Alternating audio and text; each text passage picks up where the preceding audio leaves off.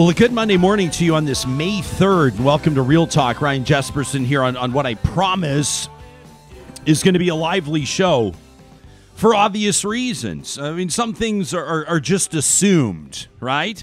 Uh, some things are just assumed. This morning feels a little bit different. This morning, this May 3rd morning, takes me back to January 4th uh, when Real Talk was was was barely born we were about five weeks in.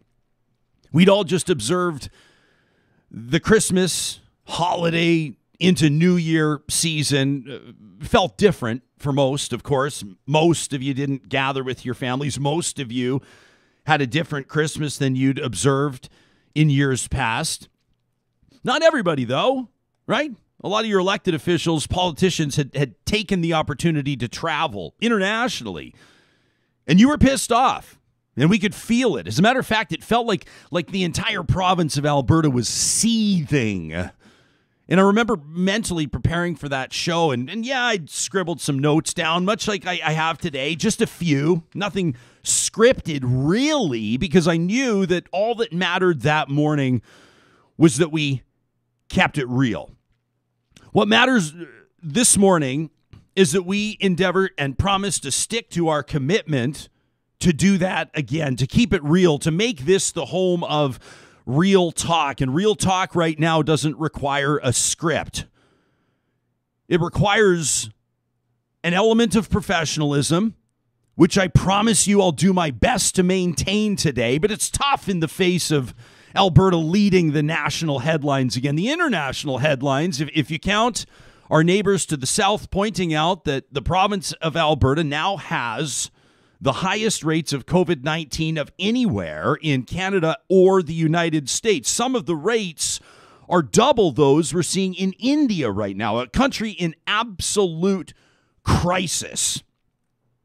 And our politicians, the provincial government, is not showing up, quite literally, not showing up for work today.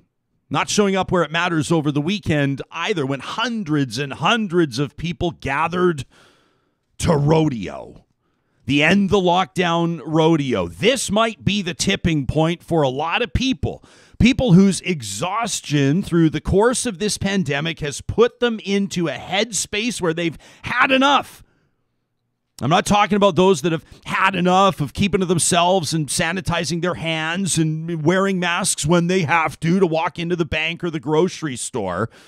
I'm talking about people, good citizens, who are quite frankly fed up at what they're seeing from their fellow citizens. And we have the emails, we have the tweets to prove it. I'm not sure I have ever seen, maybe aside from that New Year's Eve into New Year weekend, when hundreds of you were in touch with this show about what came to be known as Aloha Gate. This equals that with regards to the magnitude of feedback we're receiving. And today's show this is your show. This is your voice today. Sure, I have some thoughts. I wouldn't be me if I didn't, and we'll get into some of those.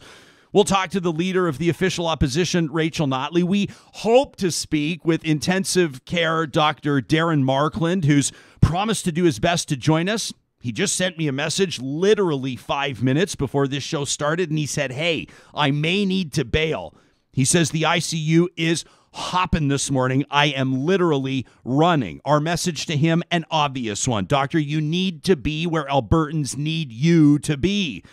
He's been a champion of public messaging, of courageous commentary through the course of this, pulling back the curtain and giving all of us a view inside the ICU. The fact that he's having to potentially reschedule an interview this morning because the ICU is so busy because doctors are run off their feet because ICU nurses, one nurse to one patient, ideally, right now are absolutely stretched. That should be the strongest, loudest warning one could ever receive. However, hundreds of people this weekend demonstrating, living, proving they don't believe it or they don't care.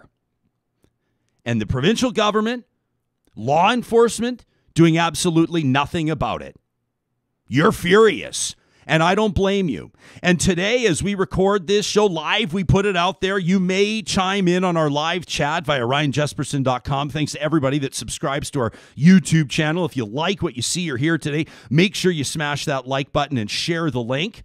You know our hashtag on Twitter, probably don't have to tell you. Real Talk RJ will be keeping an eye on that. I asked you over the course of the weekend to tell me how you feel about this debacle, this rodeo as Canada's numbers lead the nation. I asked you to hashtag Real Talk RJ and hashtag rodeo clowns because it fits. And hundreds of you took us up on the invitation. We'll be giving you the floor through the course of today's broadcast. As the Alberta legislature is now adjourned for two weeks, uh, Jason Kenney taking a holiday as Rome burns fiddle and all, we'll talk to the leader of the official opposition, Rachel Notley, Alberta's former premier. What do they want Alberta's government to do? What does leadership look like to her? She'll be joining us today, and we're going to talk to a representative from the Alberta Live Events Coalition. How do you think the thousands of Albertans that are employed in live events, in event production, hell, in rodeos, how do you think they feel about what they saw over the weekend? We're going to find out. But if I can reiterate one thing, the most important thing, today's broadcast is your broadcast. I will bring your messages to the thousands of people that are going to participate in this conversation because when it all comes down to it, this is a conversation about community and what that means. Today's show is presented by our title sponsor, the team at Bitcoin Well. If you've been paying attention to crypto over the weekend, I don't have to tell you it is well, it's on a journey right now. And a lot of people are trying to make sense of Bitcoin versus Ethereum. And hey, if your questions just start with the real basics, Bitcoin Well is your source for asking the questions to people that have faces and names the company locally owned, people that can help you sort it out yourself. You'll find Bitcoin Well right at the top of the sponsors page at ryanjespersen.com. Real Talk starts right now. Here's Ryan Jespersen.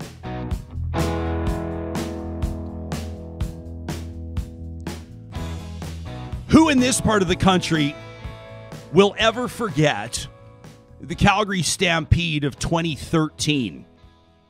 Think about it for a second. You go, ah, I'm not so much of a Stampede person, or, or I didn't live in Alberta yet. We moved here after 2013, or well, they all sort of seem to blend into one. You know, that's what those pancake breakfasts in the beer tents will do to you. They're tough to discern year to year, year to year. Well, what, what if I reminded you about the message on the tens of thousands of t shirts that were sold online over the course of just a few days to raise tens of thousands of dollars for the Red Cross. Hell or high water. Who remembers that? I sure do. I remember I was uh, living here in Edmonton, my home city, and I was tapped on the shoulder by my employer at the time. I was the host of a morning television show at the time, and they said, We're going to need you down in your hometown. We're going to need you down in Calgary. I'll never forget that day because as I hit, and this was pre-stampede, hit the QE2 highway and drove down south to the country, to the you know the part of the province, the part of the country where I grew up, into Calgary. And I came down that highway. I couldn't believe what I saw as I got closer to the downtown core. Let me remind you, that spring into that summer, Calgary's downtown was underwater. So was Canmore. So was High River. Who's going to forget the images of, of the houses being carried by the rivers, crumpling as they hit the bridges just south of Calgary? No one will forget that. I don't have to remind you that Stampede Park was still underwater when then Stampede executives stepped up about the third week of June and said the Calgary Stampede will go on come hell or high water. And the minute that that phrase was uttered, it stuck because it represented something. Everybody knew what it represented. It was the resilient nature of that event, of that city, of this province. You know, I covered that Calgary Stampede as a broadcaster, but I was also there as a private citizen. I remember wearing that t shirt that I still proudly own, Hell or High Water. I remember gathering and watching the, the rodeo and the big show. I remember watching the Rangeland Derby and, and feeling so proud of what my fellow Albertans had done, of what they had pulled off, of what they had refused to concede. It said something. It said something to the people whose houses had been destroyed. It said something to the rest of the country that was keenly watching Albertans deal with, manage, recover from one of the worst natural disasters in our province's history. And it reminded us what rodeo is all about it's about community, it's about respect. When people talk about cowboy culture, you know exactly what they're referring to. They're referring to people that respect their fellow human beings. They're referring to people that respect the craft, the traditions, the foundation upon which the entire sport or cultural phenomenon has been built. I'll never forget the response of Canadians, and in particular Albertans, that summer. Fast forward to 2021, just this past weekend, we, and by we, I mean hundreds of thousands of people in Alberta, if not millions, are absolutely appalled to see what has unfolded in Bowden, just outside of Red Deer in central Alberta. Hundreds of people showing up unmasked with no concerns around physical distancing to conduct a rogue rodeo. But it was about more than rodeo, wasn't it? It was about extending a big middle finger to the government of Alberta,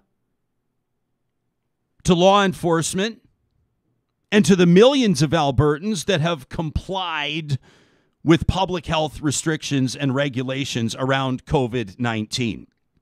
It was an even bigger middle finger to health workers, the frontline personnel in the ICUs, the triage nurses, the doctors, the virologists, the respirologists, the respiratory therapists, the paramedics, the firefighters, the folks that have gone to work every single day wearing PPE that's leaving permanent marks on their faces, that's rubbing away the top layers of their skin, the people that come home and are nervous to hug their children, to be intimate with their spouses or their partners, because they're so concerned about what they might be bringing from the ICU or the ER or the ambulance into their home. It was a big middle finger to the idea of community. People gathering here, pretending as though they know more than the doctors. Just a flu, a scamdemic, a negligible death rate. No different than picking up groceries at the store or shopping at Walmart, they say. It's unbelievable, really, when you consider the evidence right in front of us. Let's set the scene for a moment. This from economist Trevor Tombe out of the University of Calgary. Here's a bit of a perspective check. As these goons hold the most prominent event of the weekend across the country, here are Alberta's numbers. This is a, a bit of a scene setter, we'll call it. It's official says the University of Calgary economist. Alberta now has more daily confirmed cases than any other province or state. If you're having a hard time finding it on the map, Alberta's the jurisdiction that is glowing red. Our ICU admissions are at an all time record high. Our case counts are double per capita the numbers we're seeing in, in India. As mentioned, a country in absolute full blown crisis. Our healthcare professionals who actually know what they're talking about, who went to school, and who walk the halls and staff the rooms in those ICUs are ringing alarm bells like we haven't seen in months. Yet still, the rodeo proceeds. In the name of patriotism, if you can believe it. These folks fancy themselves to be Alberta patriots. And as far as I'm concerned, as I tweeted over the weekend, this is not the act of a patriot. This defiance of a public health order, this brazen disregard for the health and the well being and the lives of fellow community members, these are traitors. Somebody tweeted back at me and said, You cannot use that word lightly. I said, I didn't. We've been receiving more emails than we've seen in a long time to talk at ryanjespersen.com. And I'm going to leave some time through the show today to get to what you've been telling us, like this one from Hope, who says, I find myself wanting to weep and then rage at the state of my beloved province, Alberta. My whole life, I was raised to be proud of this wonderful place where people truly can be what their dreams are. We have that entrepreneurial, hard work ethic that was rewarded with pay higher than the national average for many years. We've had the best doctors and nurses and educators. Sure, the province has never been perfect, but it was honest. That's what Alberta meant to me. No bullshit, straight talk, authentic. That's my Alberta. You can have nothing here and become wealthy without knowing the right people. You can succeed with your own grit and determination, or at least you used to be able to. With this government, Alberta's become the laughing stock of the country and beyond. The corruption leaves me breathless. Hope says I grew up voting progressive conservative, a Peter Lougheed type. I've watched success, uh, successive regimes bleed us dry. She says the UCP pretends to be down home. I started voting NDP when I saw that Rachel Notley embodies that. And by the way, this is not going to turn into some big advertisement for the NDP this morning. That's not what this is. If Jason Kenney would do an interview on this show, we'd have him here this morning. He's not even showing up at the legislature, so we know he's not showing up on Real Talk. But this show is about what Albertans demand of their government. This show is going to be about what community means. This show is going to point out and explain why what we saw over the course of the weekend was nothing short of betrayal. Hope says, so, so what can we do? She says, uh, for the first time in my life, I'm uh, thinking about actually leaving. At first, I felt resigned and sad, defeated, in fact, hopeless in the face of leadership that truly appears not just to be incompetent, but actually cruel. How dare they tuck their tails and disappear? How dare they pretend to be doing this out of an abundance of caution? I've had enough. I want to stay and fix this, but like so many others, I feel powerless. Forget about hopelessness, though. I want to fight back. I want to show Canada and the rest of the world, in fact, that we are more than just a very vocal minority. You know, Alberta's premier is going to dismiss your concerns. You know, he's going to talk about the angry left on Twitter. Hope is among those that wants to prove that it's more than that. She says Premier Jason Kenney is a political eunuch, a petty, inept shell of a man. I dare say he's dashed his hopes of federal leadership. Having said all that, what can we, the majority of Albertans, do to counterbalance this putrid, hateful rhetoric? Hope says, I've started the hashtag We Are the Resistance. We are brave, smart, wonderful, empathetic people. Let's band together. Let's destroy and stamp out the narrative that Alberta's full of bow legged hicks chewing tobacco, spitting vitriol. She goes on to say, I'd like to add that Real Talk makes me smarter. It engages me more than anything before. I've made friends in the live chat. The show's a ray of hope and grace. I love the addition of Sarah, she says, who adds a different perspective. Thank you for making me examine my own biases, my own fears. Hope says at 57 years young, I'm getting the education I always wished for. She signs off by quoting Edmund Burke Nobody made a greater mistake than he who did nothing because he could do only a little. That's an incredible email. She mentioned that she chimed in using those hashtags I asked you to over the weekend. I expected hundreds of you to respond, and you did. I'm going to get to as many as I can just by scrolling through. We've not picked and chosen which ones we're going to go with. I simply asked, in the context of this End the Lockdown rodeo, for you to tell me how you feel. And here's what you've told me Wine Time says, not enough enforcement. Viral misinformation continues to spread. Nothing's done about it. Places are publicly disregarding restrictions. Nothing is done about it. The premier's okay with it all. Do we all have to die or have long COVID before it's important? Mish says, I wish I could be understanding and forgive the willful ignorance of the people at this rodeo, but I can't. I hate every one of those attendees and the pukes that organized and amplified this despicable event. Mish says, I know this makes me petty, I feel like they should be refused health care if they get sick. Biohazard level four says Alberta's officially a banana republic. Former cabinet minister, former energy minister, Marg McCuaig Boyd says, I can't get past my anger to write an articulate post. She says, I'm looking at a competitors list at the rodeo and they're from around Alberta. There's more spread coming and nary a peep from our premier. Smarten up isn't cutting it anymore. And now he's hiding by closing the legislature. Mike says this truly is the Wild West where the townsfolk run amok. The sheriff is corrupt and in the pocket of the railroad company that's about to level the town. Where's Lee Marvin when you need him? Liffy M says disgustingly selfish is what this is. Horrible behavior perpetuated by a delusional few, but it's disheartening for those of us who do give a shit, especially when our government gives them a pass. Where are the adults in our government? Lauren says our government's abdicated their responsibilities, hiding behind finger wagging tweets instead of doing their jobs and enforcing their own laws. It was April 29th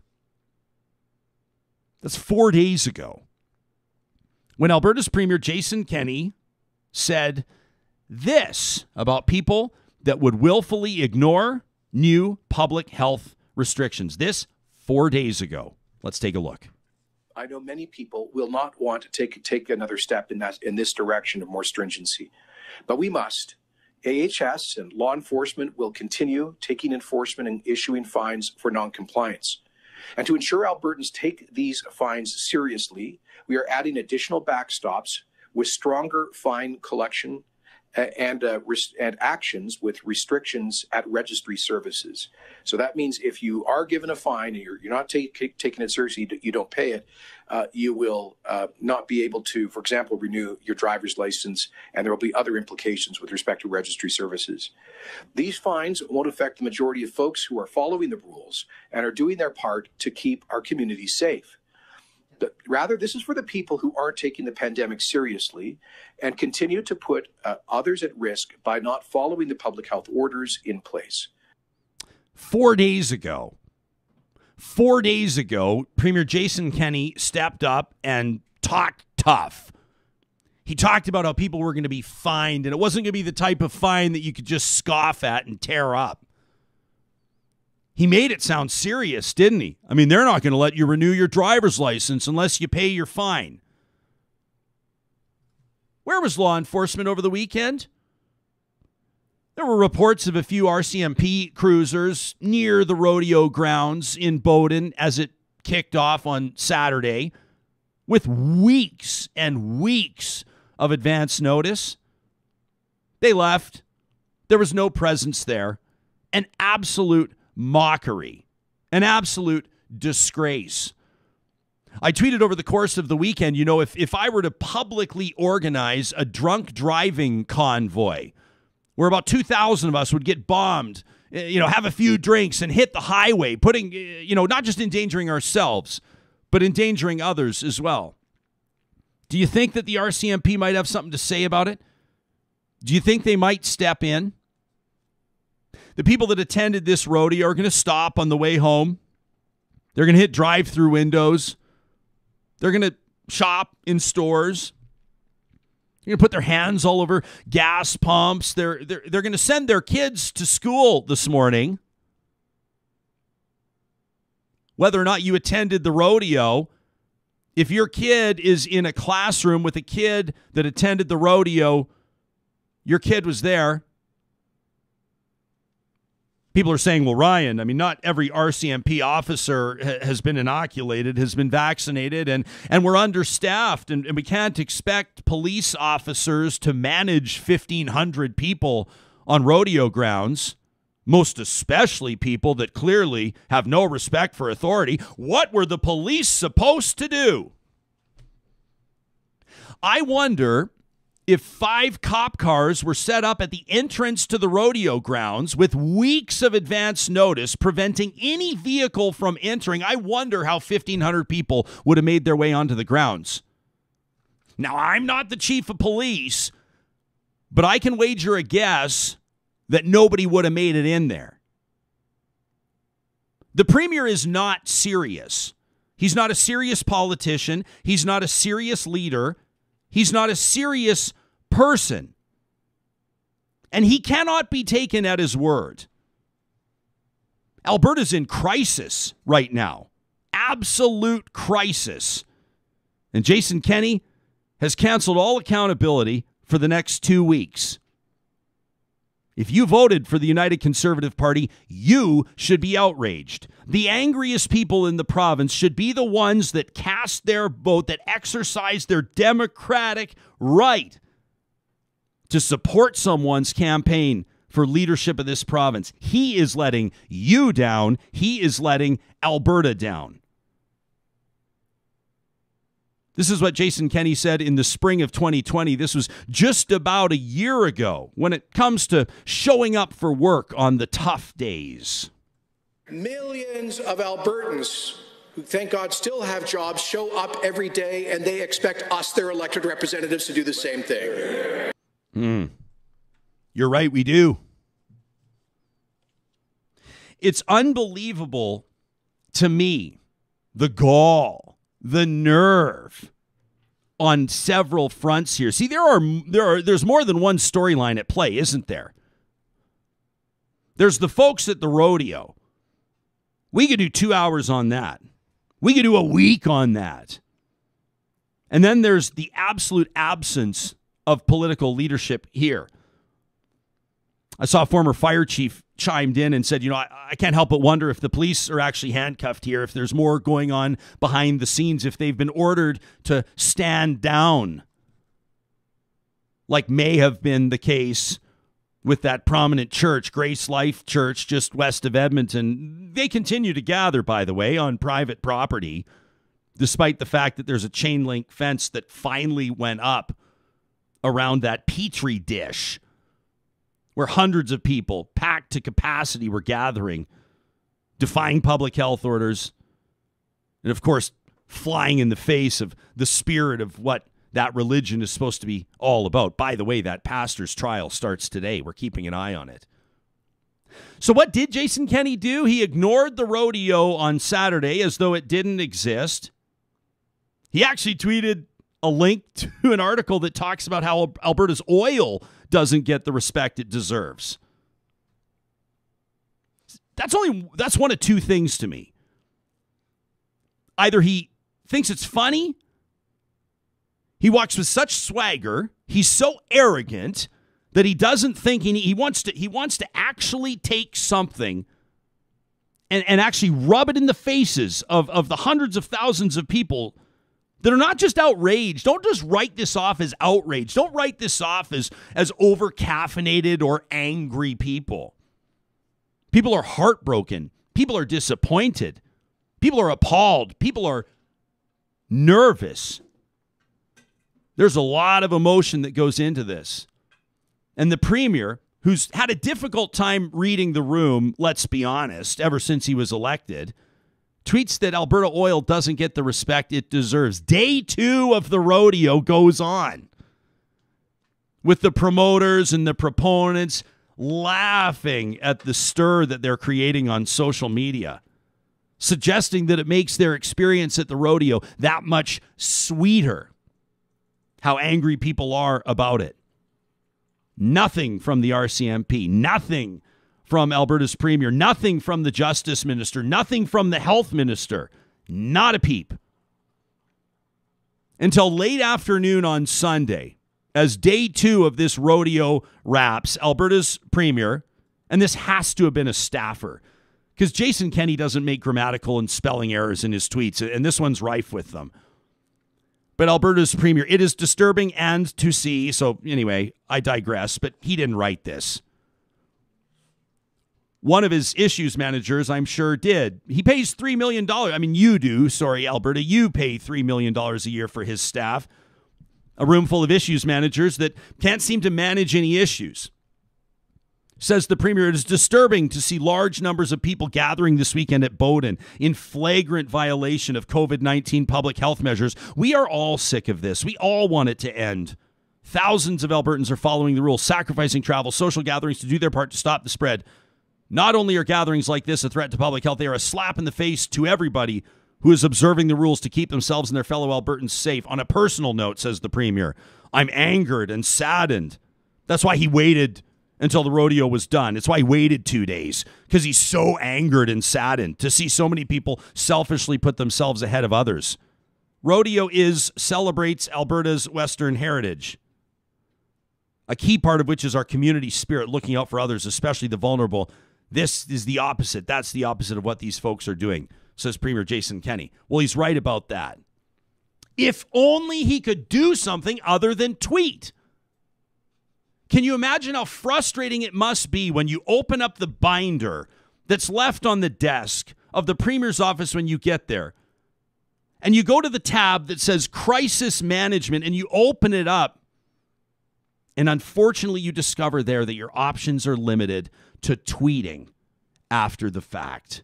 How frustrating that must be for a courageous leader like Jason Kenney. If only he could have done something about it. If only rodeo organizers would have given weeks of advance notice. You know, reasonable Albertans en masse expected that this thing would be shut down, especially after the big talk about consequences, about enforcement about how serious the provincial government takes this because we're in the midst of a pandemic with ICU admissions the highest they've ever been. And when the jerk that lives next door to you or whose kid is in the same class as your kid tells you that the average age of death in Alberta from COVID 19 is over 80 and the average person uh, that dies of COVID 19 had a number of other comorbidities, you remind them that ICU admissions are disproportionately people in their 40s and 50s. Not that the 80 year olds are octogenarians, the folks that actually picked the rocks and tilled the fields and drilled the oil and built this place. Never mind the fact that some of this unbelievable dialogue seemingly dismisses the value of their lives. But perhaps it's worth a reminder that this pandemic is kicking the ass of otherwise strong and healthy people. The most unfortunate thing about all of this is that some people that attended that rodeo are about to learn that this is not a joke. They're about to learn that this is not a scam. They're about to learn how real COVID 19 really is. There are reports of healthcare workers that were at the rodeo. And a reliable source has told us that they're bound to face sanctions, not because they've been outed on social media, but because complaints have been logged with professional governing bodies. Confidence in our public healthcare system is absolutely paramount. And this type of brazen defiance of public health orders, health orders cannot be tolerated. But that's just the nurses. What about everybody else? How many of these people that, that had their cowboy hats pulled down low over their eyes at the rodeo are going to be showing up at workplaces today without their colleagues having but a clue about how they spent their weekend? Martin sent us an email. He says, I'm exhausted and I'm pissed. He says, We're over a year into this. How have people still not learned? This is me being naive, I guess, expecting the best from people, something I'll never give up, even when challenged like this. Seeing how other regions and other countries have worked this out gives me hope. We have an ask in, by the way, with the Premier of Nova Scotia. What, a, what a difference in how they're managing this in Nova Scotia. Martin says, seeing those in our communities continue to fight the good fight gives me hope. We know the only way through this is action, restrictions actually enforced, or a vaccine. And so many have chosen neither. Seeing actions like this rodeo, those 17 MLAs that signed the open letter against lockdown restrictions, the various marches, all these people who think that they're standing up for something and fighting back, that the government can't tell them what to do. It's the same attitude as a as a rebellious, pubescent child. And I wonder why these people have never truly grown up. These are all the people, says Martin, who claim to be hardworking, yet they refuse to put in the work to beat the virus. They're lazy. These are the people who claim to be against entitlement from others, yet they're showcasing their own entitlement by refusing to be part of the solution. These are the people who claim to be simple country folk, yet do not have an ounce of patience in them. These are the people who claim to be for personal responsibility, yet throw that exact thing away at the slightest impediment to their privilege. They're selfish. These are the people that think they're big and tough. They're heroes in their own eyes for pushing back, yet they embody weakness covered by false strength. These are the people who purport to be religious, God fearing folks, yet they think nothing of others, only of themselves. They hide behind their religion because it's the entitlement that society has granted them over centuries. These are the people who view government as the enemy. By the way, Jason Kenney booed at that rodeo over the weekend. Martin says in a democratic system, the government is a representation of the people. If you are anti government, you are anti people, you are anti society, you are anti community. These are the people that want to talk about freedoms, free speech, guns, yet fail the concept of living in a shared society. They do not understand that their rights do not get to cause others harm. Their rights come with responsibilities, and their rights end at the tip of their nose.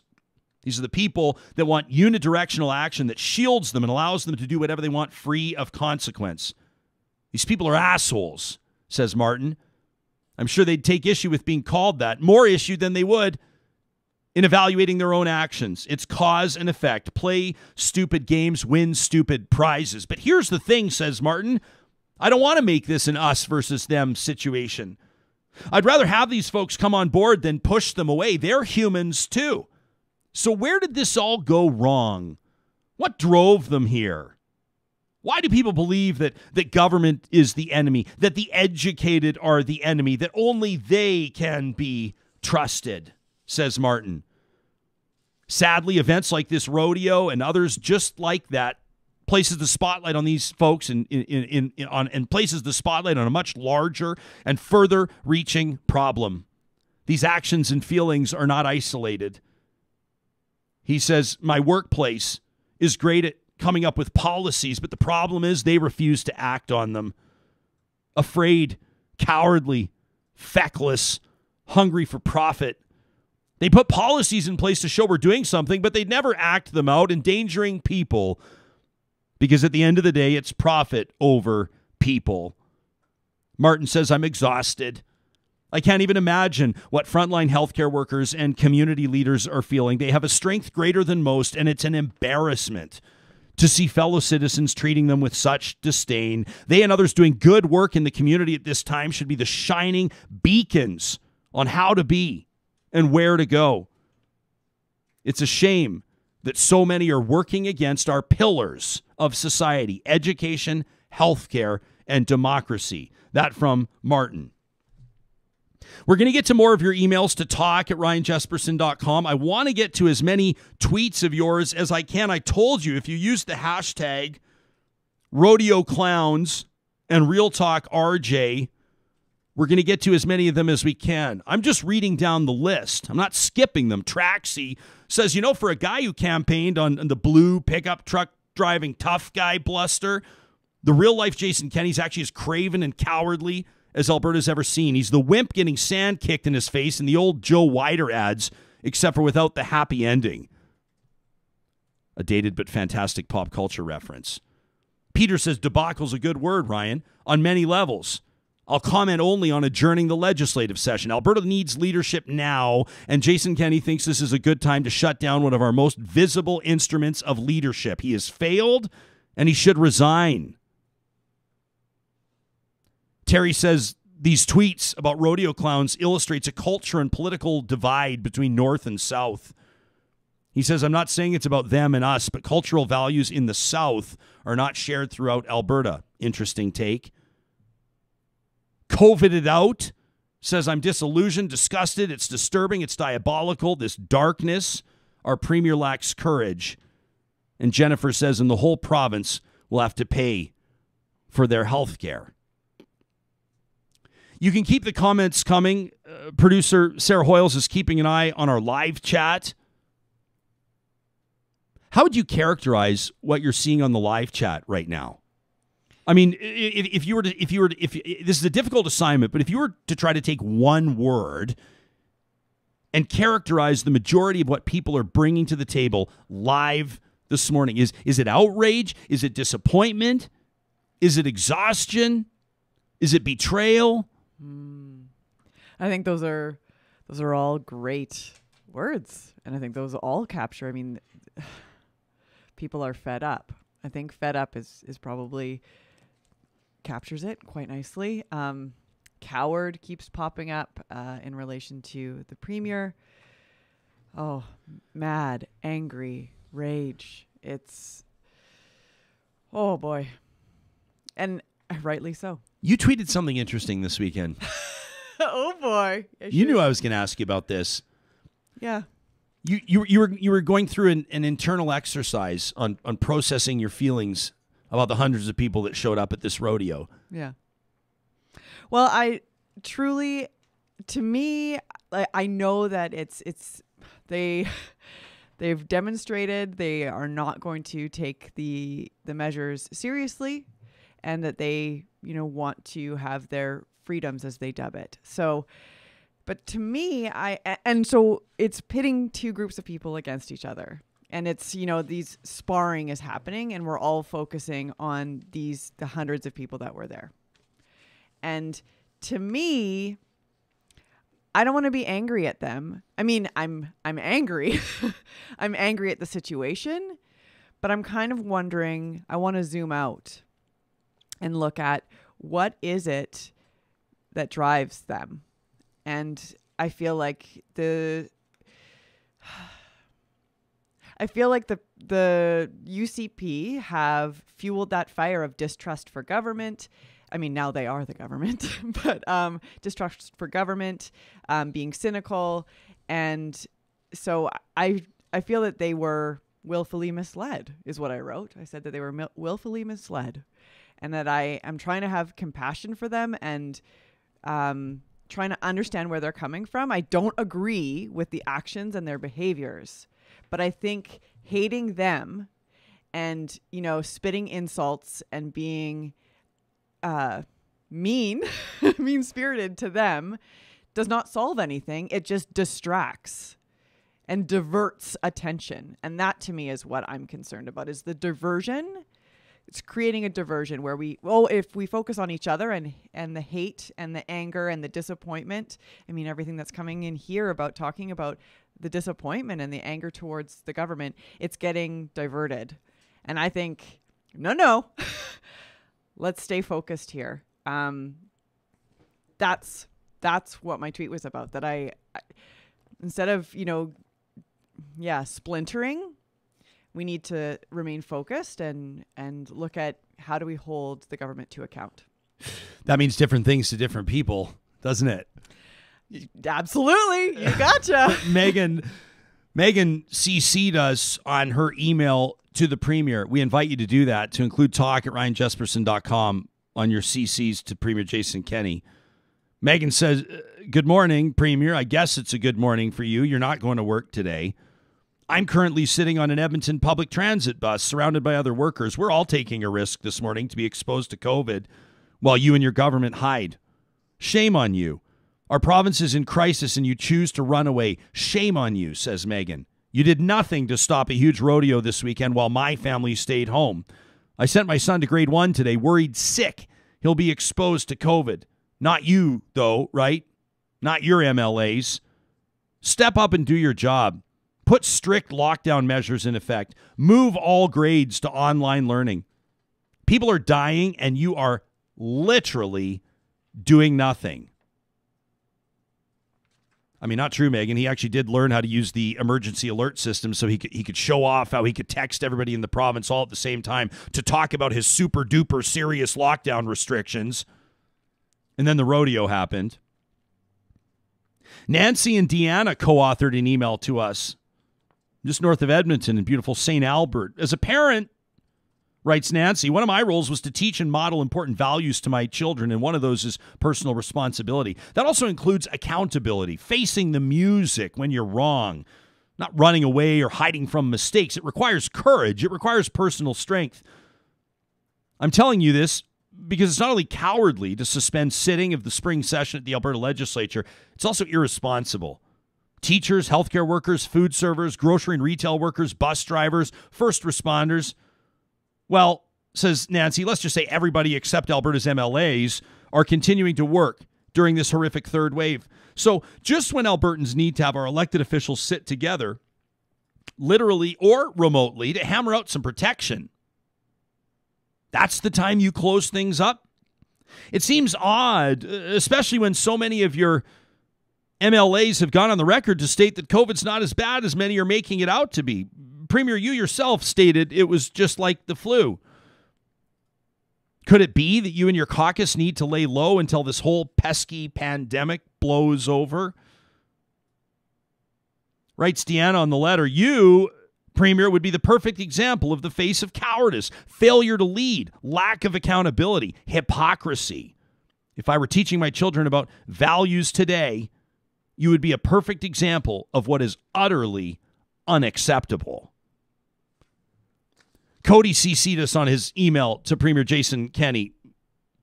Premier, you have completely and totally failed the people of Alberta with your COVID response.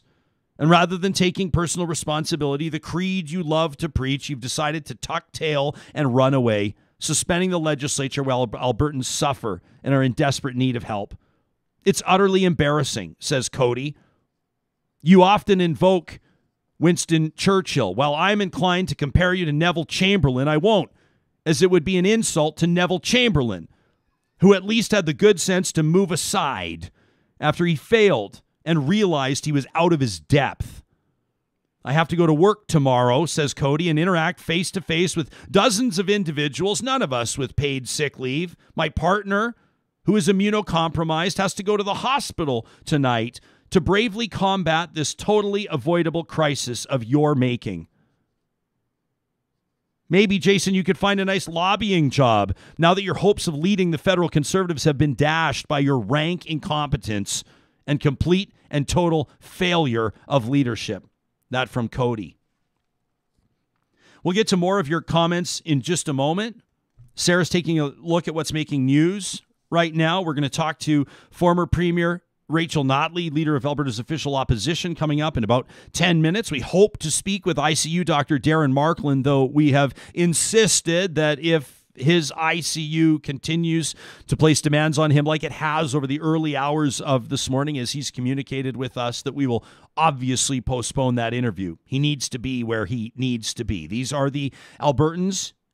For those of you that maybe don't recognize the significance of being in ICU, let me remind you this is dire straits. These are serious circumstances. When you're in the ICU, if it's properly staffed, the nurse to patient ratio is one to one because the demands are so serious, because the stakes are so high. Dr. Markland let us know this morning before we went live that he is literally running around the ICU today. If he has five minutes, he'll be joining us. If not, who wouldn't understand?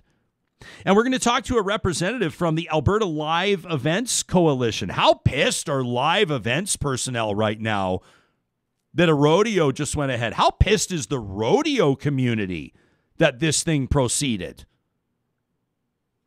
We have a an ask in with the Canadian Pro Rodeo Association who has got back to us and has essentially offered a no comment, which is fair. I'm sure that this is something they're discussing themselves.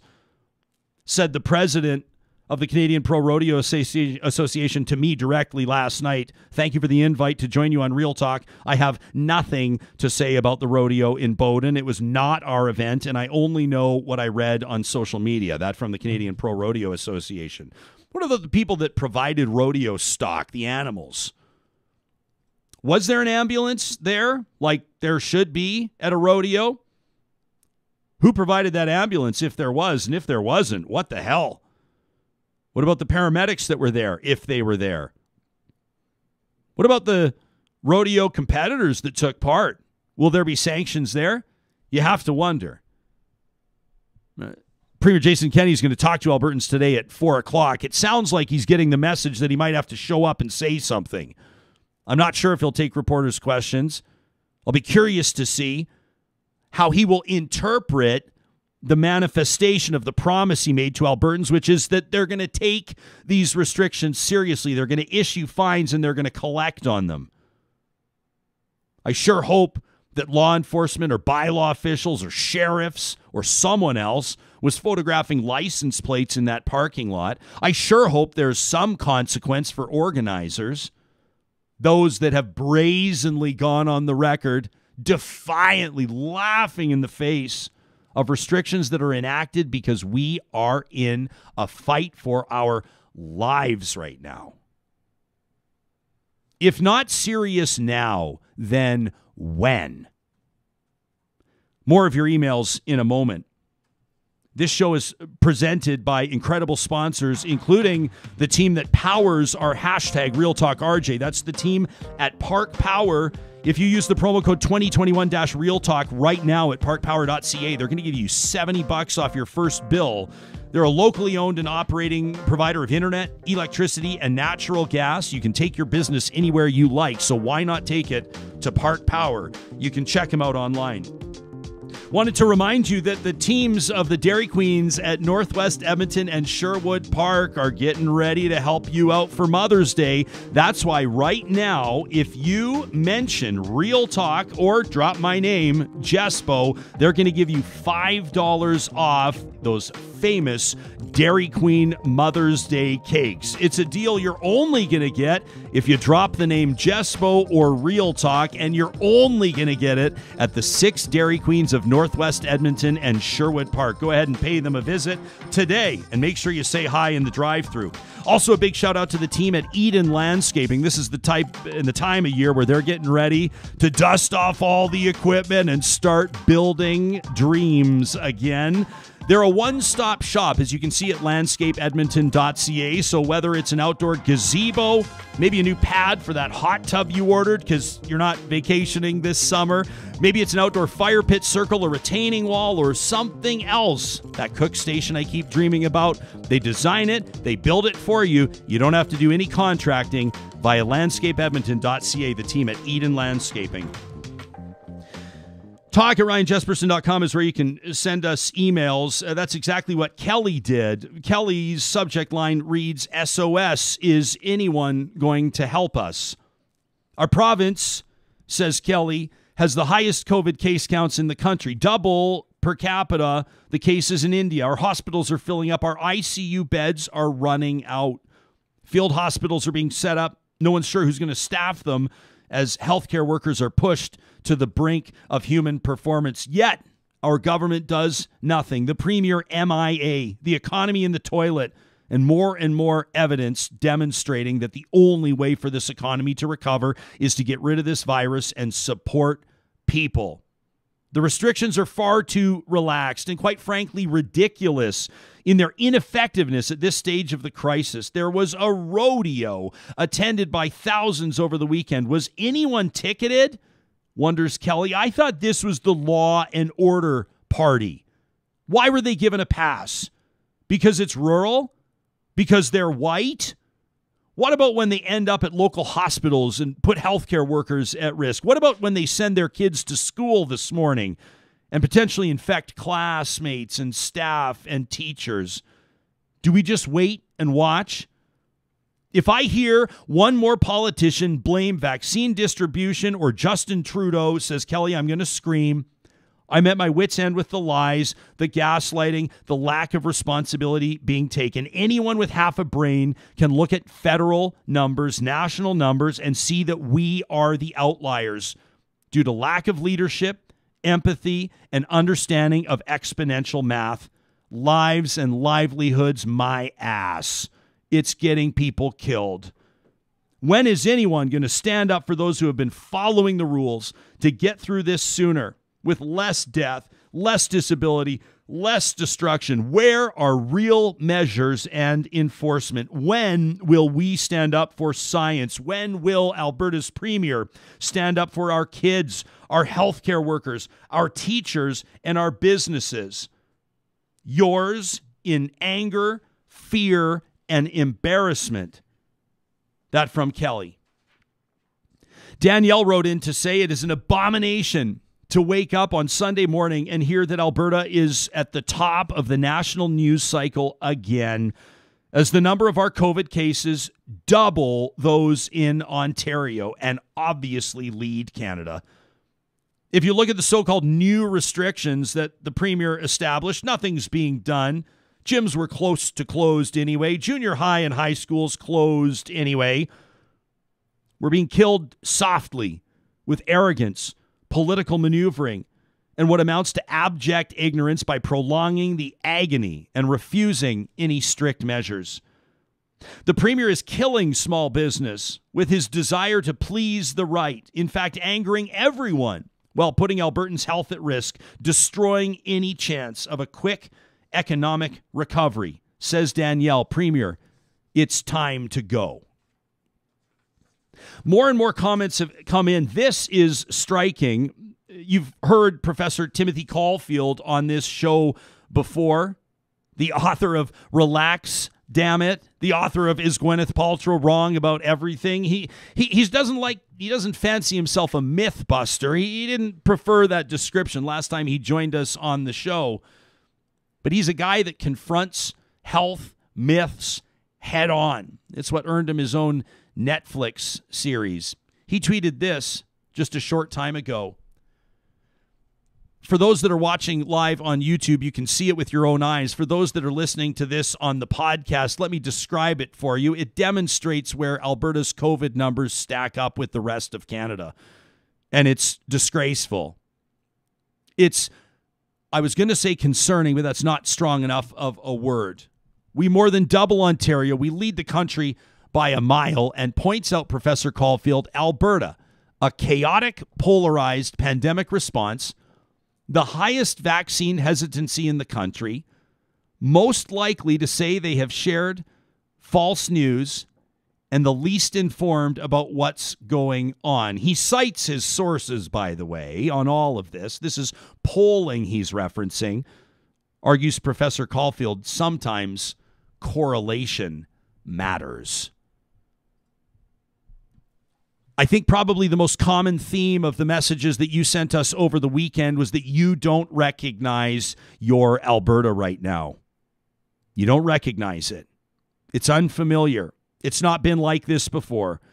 In times of flood, in times of wildfire, in times of devastating hailstorms, the destruction of crops and homes, in times of mass tragedy, Albertans and Canadians have banded together in it together.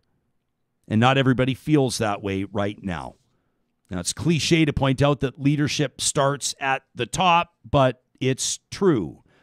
Our first guest this morning knows a thing or two about that. She was the premier of Alberta as the regional municipality of Wood Buffalo burned. Uh, Rachel Notley, now the leader of Alberta's official opposition, joining us live. Uh, thank you for being here.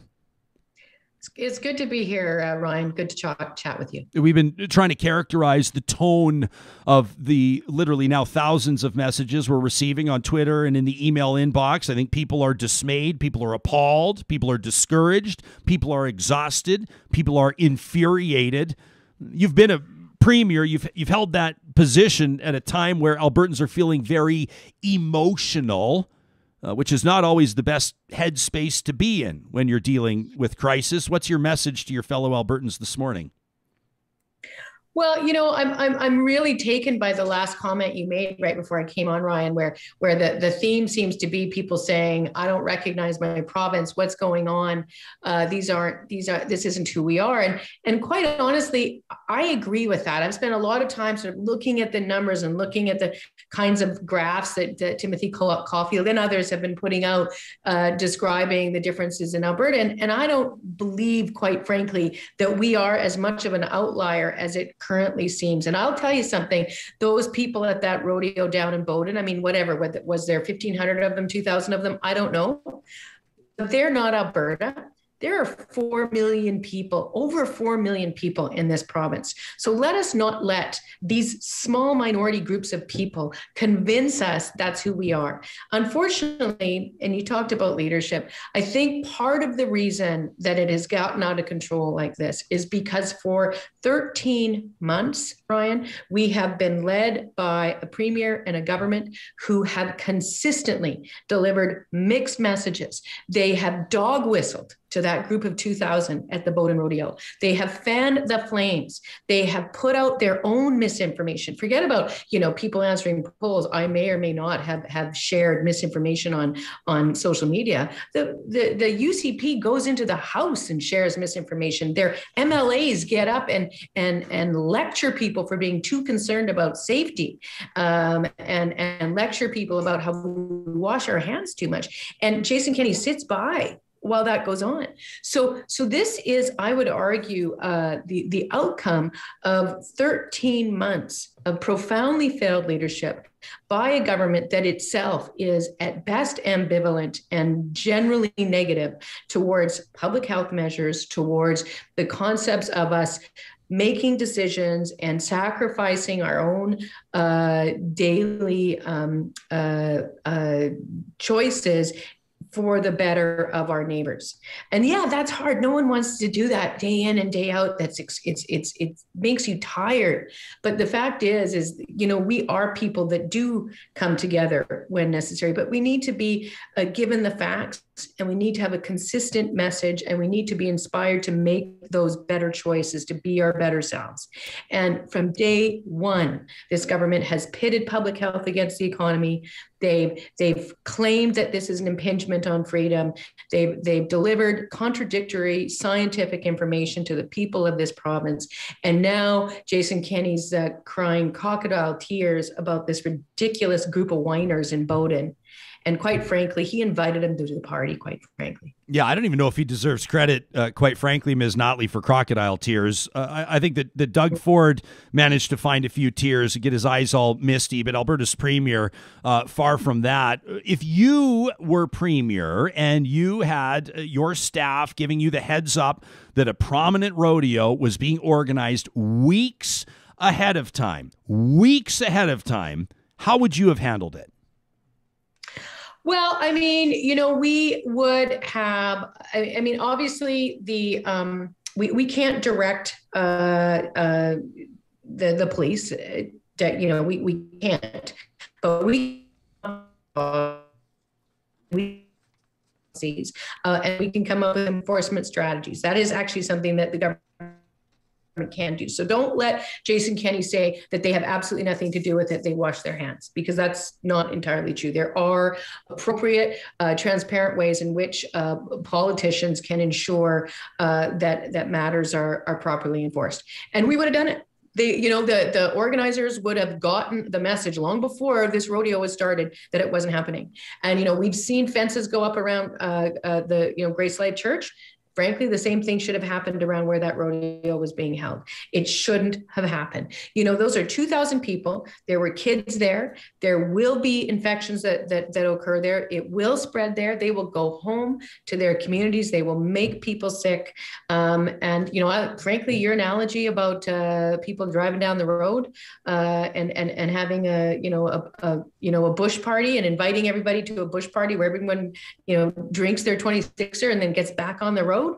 I don't know if that was exactly your, your analogy. I might just be remembering high school, but either way, the reality is, is that, you know, that kind of thing happening. When the police heard about that kind of thing happening back when I was 17, they went to the Bush party and they said, what do you, you know, get out. And, and they didn't let people drive. So the same thing needs to happen here. Okay, so can I ask you uh, uh what you make of essentially what appears to be inaction on behalf of the RCMP? I mean, what's going on here? I mean, you you you're not going to blame. I mean, the average person. Here's what I think, and your point is very valid, and I agree with you that there are four, you know 4.5 million uh, for all intents and purposes, fantastic people that comprise the fabric of this province. And people are talking about not my Alberta, and I feel like I'm going to leave, but I'm not going anywhere. I mean, that's what people are saying.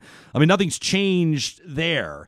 Uh, but at the same time, you know, while we have the majority of people that will continue to comply with measures that are either specified or implied, while we have people that will that will live that golden rule, that will do what's best for their fellow humans, for their friends and neighbors out of respect and out of a sense of community, I guarantee you a ton of people will say, well, if they didn't stop a rodeo with hundreds and hundreds of people brazenly defying public health restriction, announcing their intentions, then I am having the boys over to throw darts. I am going to see my friend on their 40th birthday. I am absolutely going to have a little house party as long as everybody keeps it on the DL. I mean, this sets a very dangerous precedent.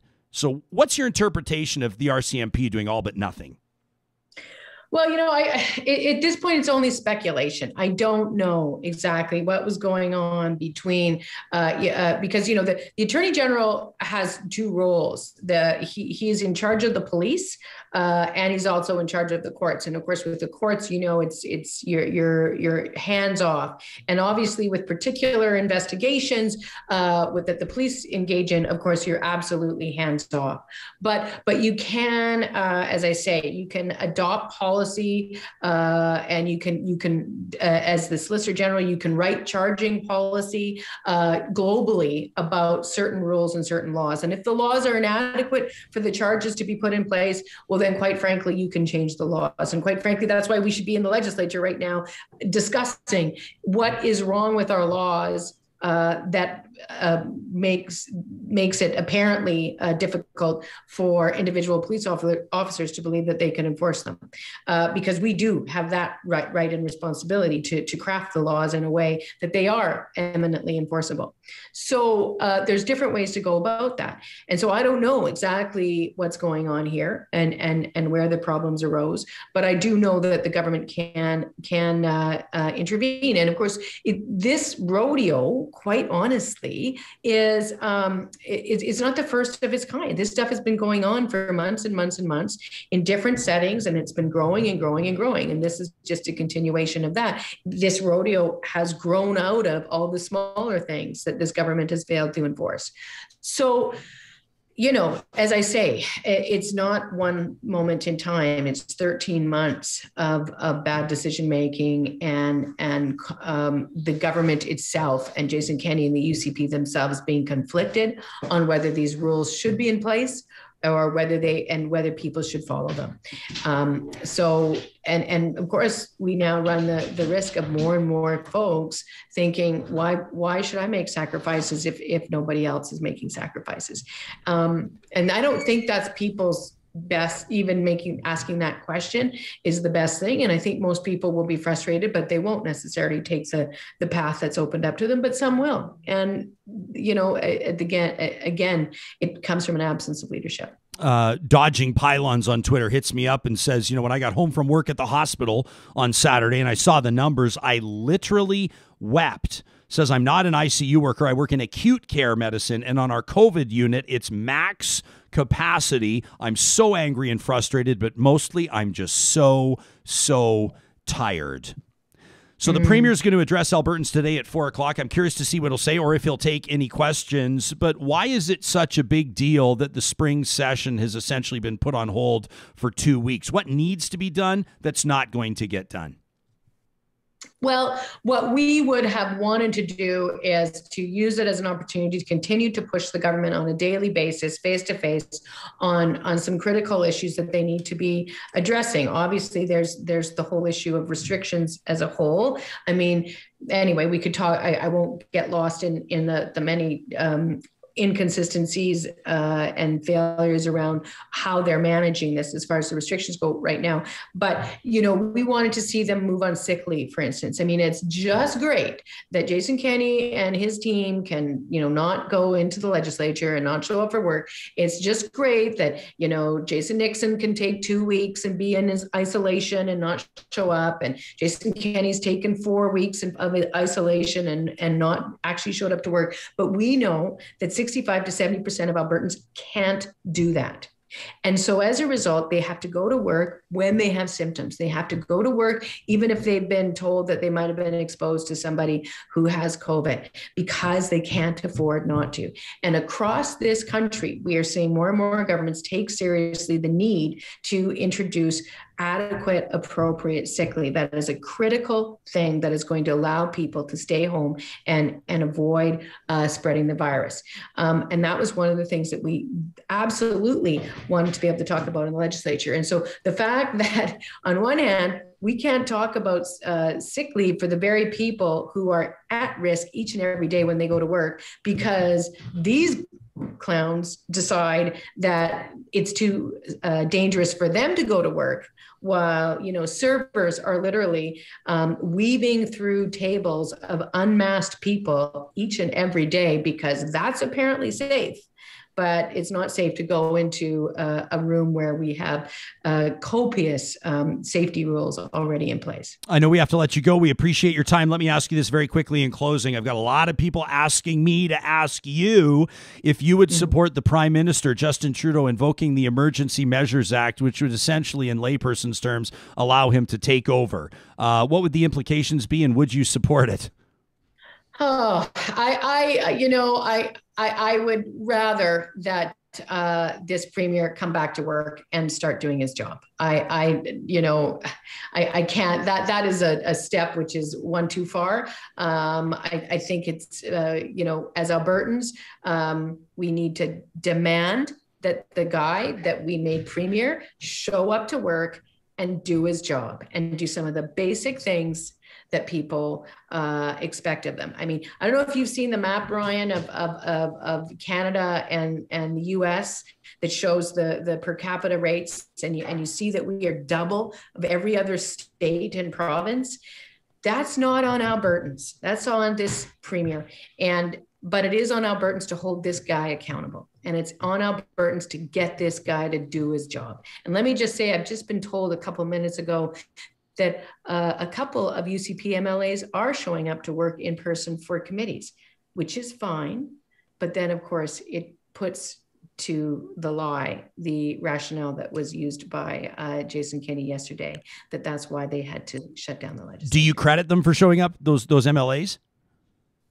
Uh, well, I would credit them if they came along with the the other however many uh, um, 60 members of their caucus um, in order to actually be in the legislature. In the committees, we don't have question period. Mm. In the committees, the opposition doesn't get to run the agenda, or we don't get to run the agenda in the House either. But we don't get to propose legislation. The committees don't make decisions, so it's it's not unsafe for them to show up at a place where they're not held accountable. Uh, but it is unsafe to show up in the room where they are held accountable. Um, so what I want is consistency, honesty, transparency, and ultimately somebody to roll up their sleeves and get to work on behalf of this province. That's Rachel Notley, the leader of Alberta's official opposition, former premier of Alberta. Thanks for your time today. We appreciate it. Thank you. You got it.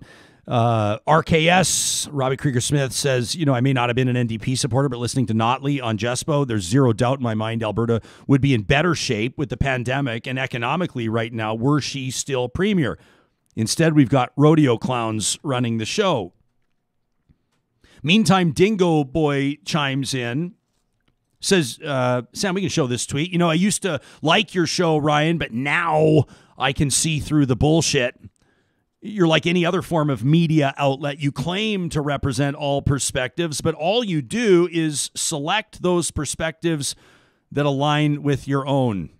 Dingo Boy with no profile picture, one follower, not followed by anybody that I'm following, joined April of 2021. And a good morning to the Premier's staff signing up on all their new Twitter accounts. It's always great to hear from you. What other perspective would you like me to present this morning, Dingo Boy? What's the other perspective that matters here? People's rights to gather and rodeo as hundreds of people cling to life on ventilators and induced comas? As the third wave of the pandemic spreads like wildfire across the province, stretching our healthcare resources, bringing people to their knees, with 10% of all cases expected to live with long COVID in some circumstances for the remainder of their lives. What perspective, other than what the fuck, would you like me to represent this morning? If you can spell it out without using words like cuck or globalist or true dope or referencing the prime minister's haircut, I would love to hear from you. I would love to hear the explanation, the logical, reasonable, community oriented explanation for why you would support gathering for a rodeo in the midst of a pandemic. I am all ears. Make sure you hashtag Real Talk RJ and rodeo clowns while you're at it. The Northwest Fest International Documentary Festival may not be happening at the Metro Cinema this year, but the show must go on. So they put together an outstanding lineup of some of the year's best documentaries, all of them available online. Real Talk is proud to be the title sponsor of the Global Visions film series as part of Northwest Fest with a whopping 40 feature films plus 40 short films you can watch, of course, from anywhere from May 6th through the 16th. This is your chance to stream some of the hottest new docs from Canada and abroad, many of which are Canadian, international, world premieres. You can learn more at northwestfest.ca. And to our Patreon subscribers, stay tuned. There's a special benefit coming your way. We also wanted to say a big thank you to the team at Freson Brothers for their continued sponsorship. You know, did you smell that over the weekend? More and more people getting the grills going. Well, it's that time of year where, with Freson Brothers culinary ideas and your plating skills, you're about to knock your family's socks off with what they have to offer from the sides, from what goes on the grill, the sourdough bread, the buns, and of course, those proteins. Freson Brothers, for more than 65 years, has been very proud to present the best that Alberta has to offer. Alberta grown and Alberta owned at Freson Brothers. A shout out today to those of you that spent the weekend trying to track down a truck as well. You know, it's trailer season, of course, and everybody's getting outside in their own ways. If yours involves a trailer, maybe one of those fifth wheels or a boat and you're looking to upgrade your truck, I don't have to tell you it's tougher now than ever. Inventory's low for a number of reasons. That's why it matters that St. Albert and Sherwood Dodge have the best selection in the province. They can share back and forth between their two inventories, and the customer comes first, including the way they approach their financing with some great offers right now for those who qualify on the Ram truck lineup, plus all those Jeeps that you see hauling boats around across the province of Alberta. Go see Sherwood and St. Albert Dodge. Well, we're hoping to check in with ICU Dr. Darren Markland today, but it is quite understandable and completely okay if he's unable to join us. He told us earlier, before we went on air, as mentioned, that he is running off his feet in the ICU today, which was all he needed to say on a number of fronts. It was a bit of a perspective check for us as we approached the show this morning. So we may hear from him, if not today, sometime later this week. We want to dig into the numbers and the trends and, and figure out what it actually means, what it means to our frontline healthcare workers and our hospital capacities when we see these charts and graphs that disproportionately reflect Alberta. We're going to get to our live chat in just a moment. I'm going to read some more of your emails. Sarah Hoyles, right now, has been taking a look at what's making news this morning. So we thought we might break for a quick second to take a look at today's headlines. It's court day for the Grace Life pastor. James Coates and the Edmonton Area Church face one charge of violating Alberta's Public Health Act. U.S. homeowners, or sorry, U.S. home builders, are urging the Biden government to negotiate a new softwood deal with Canada. That's after lumber costs for a single family home have tripled over the last year. And Indian Prime Minister Narendra Modi, his party has lost a key state amid criticism over his pandemic response.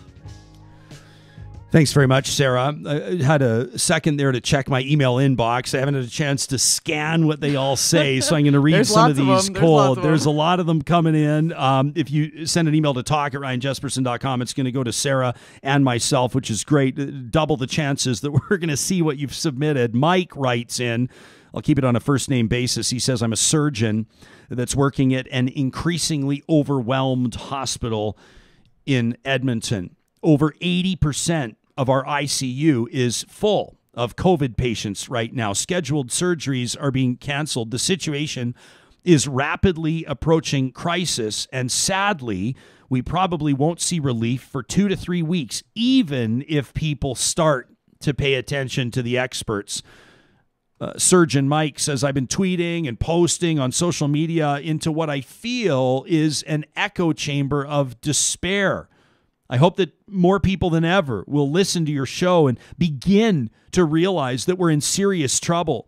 The only way out of this, if we all work together, is to listen to the experts.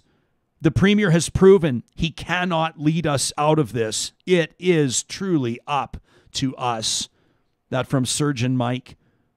A different Michael writes in and he says, I'm so glad you're having this talk this morning. He wrote in just about 30 minutes ago. Says all these rodeo clowns everybody else not taking this pandemic seriously uh, can eat horse shit as far as I'm concerned, says Michael. I mean, if I'm going to keep it real, let me keep it real. He says, This is absolutely disgusting. This is not the Alberta I've lived in for my 37 years. I can't believe what I see happening. He says, I grew up in rural Alberta and people there looked after one another. We made sure that we were taking care of everybody. He says, I now live in Calgary and have for most of my adult life. And, and, and the common thread between rural and urban Alberta has been, in my experience, great people. People who are kind to one another, people who look out for each other. I truly don't understand what's happened. To willingly endanger your fellow citizens is shocking and appalling. He says, I honestly believe that Jason Kenney and the United Conservatives are the root of a lot of what's transpired lately. He says, as a matter of fact, I, I don't believe it. I know it to be true. The premier has allowed these un Albertan clowns to behave with zero consequences while they not only endanger their fellow citizens, but drag out this pandemic, not only leading to a further spread of the virus, but further damaging the economy and damaging the mental health that they so often attribute and speak as though they try to balance it out. This party has had a large percentage of its caucus speak out against restrictions. A large percent of the caucus ignore medical professionals' advice, even traveling internationally during this pandemic. They've put in ineffective restrictions and they've been told countless times it's not enough, but they don't listen. He says, I can't help but remember when the premier called this a flu, reminding us that it was killing people that have already exceeded their life expectancy. Michael says, Read that again. Okay. I remember when the premier called it a flu and reminded us it was killing people who had already exceeded their life expectancy. In short, they have allowed this minority of irresponsible people to have the confidence, the swagger, to behave in an absolutely reckless manner. And now they run and hide because it's too dangerous to convene at the legislature. But frontline workers, teachers, wait staff, retail workers, medical professionals will still show up. He says, I could write a novel about how I'm feeling, but I'll probably just start to rant. I do thank you for hosting the talk, and it gives me at least a, a glimmer of hope to know that so many people are as upset as I am. That's an, that's another talk. That's another focus. Sarah brought it to the table. Rachel Notley brought it to the table. I'm curious to see where Sam Brooks is on this one. A lot of people pointing out that, hey, this cannot turn into rural versus urban because that's not what this is. This cannot turn into northern Alberta versus southern Alberta because that's not what this is. This isn't even United Conservatives versus New Democrats versus anybody else. How are you processing what you saw this weekend? You and I haven't yet talked about this. Yeah, I. I mean, there's a lot to unpack here. I, I think that you know when uh, when former Premier Opposition Leader Notley was on, she talked a lot about leadership and, and kind of the vacuum that we have it right now. And I just, you know, kind of like Sarah was doing, I wanted to take a bit of a macro view of this and, and, and say like, what is this? What are these like large scale implications? And and I think that it is entirely astute to say Jason Kenney trained people to do this. That that from day one of the pandemic uh, Jason Kenney has always given a wink and a nod to this base that that believes in this, you know, libertarian ideology of freedom that that that bubbles out from under the surface every time Albertans feel like you know they're not allowed to sneeze on the right side of the street. Um, that's that, that's kind of the attitude that it has here. The problem that I see is that you know Oh, let's let's think about the whole concept of a united conservative party, a, a, party that brought the PCs and the Wild Rosers together. And and Jason Kenney very firmly when he came in said, you know, I'm the man in charge now. The party is going in my direction. And so like right off the bat, there was a fraction of the base, probably the older, more progressive conservative base, that was immediately alienated from that party. And then we have time after time after time after time all year. Jason Kenney just going up to the line, but making sure there's a little back door left in that for his restrictions for for the base that wants to defy it. You know, Jason Kenney has been tacitly giving this base his nod of approval, and I think partly it's because it's the only base he has left. If Jason Kenney actually grew a pair and stood up and stood up to this part of his party that is causing these problems, well, he's already lost the fir- you know the the more centrist part of the party. Um, this is all he has left, and this is all he has left that is that is trying to. and and the other thing is they hate him right now. They hate him for putting any restrictions in.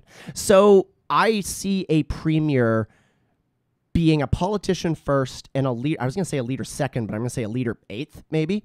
Um, doing everything he can to keep the only base that he can possibly latch onto anymore happy and and well, I mean, quite frankly, letting people die in the process. That's that's the most blunt way to put it.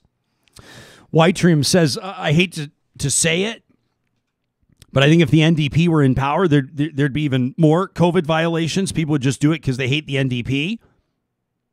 the rodeo group is likely filled with the same people. I mean, here's I, I don't really I don't quite understand the whole idea around uh, if if it was the NDP, more people would break the, the the rules because they don't like the NDP. We've we've had a method of of of solving that type of thing throughout history, and it's called law enforcement. And as a matter of fact, it's this very unique phenomenon where, regardless of where you live and who the government of power is, if you break the laws of the land, you pay the price.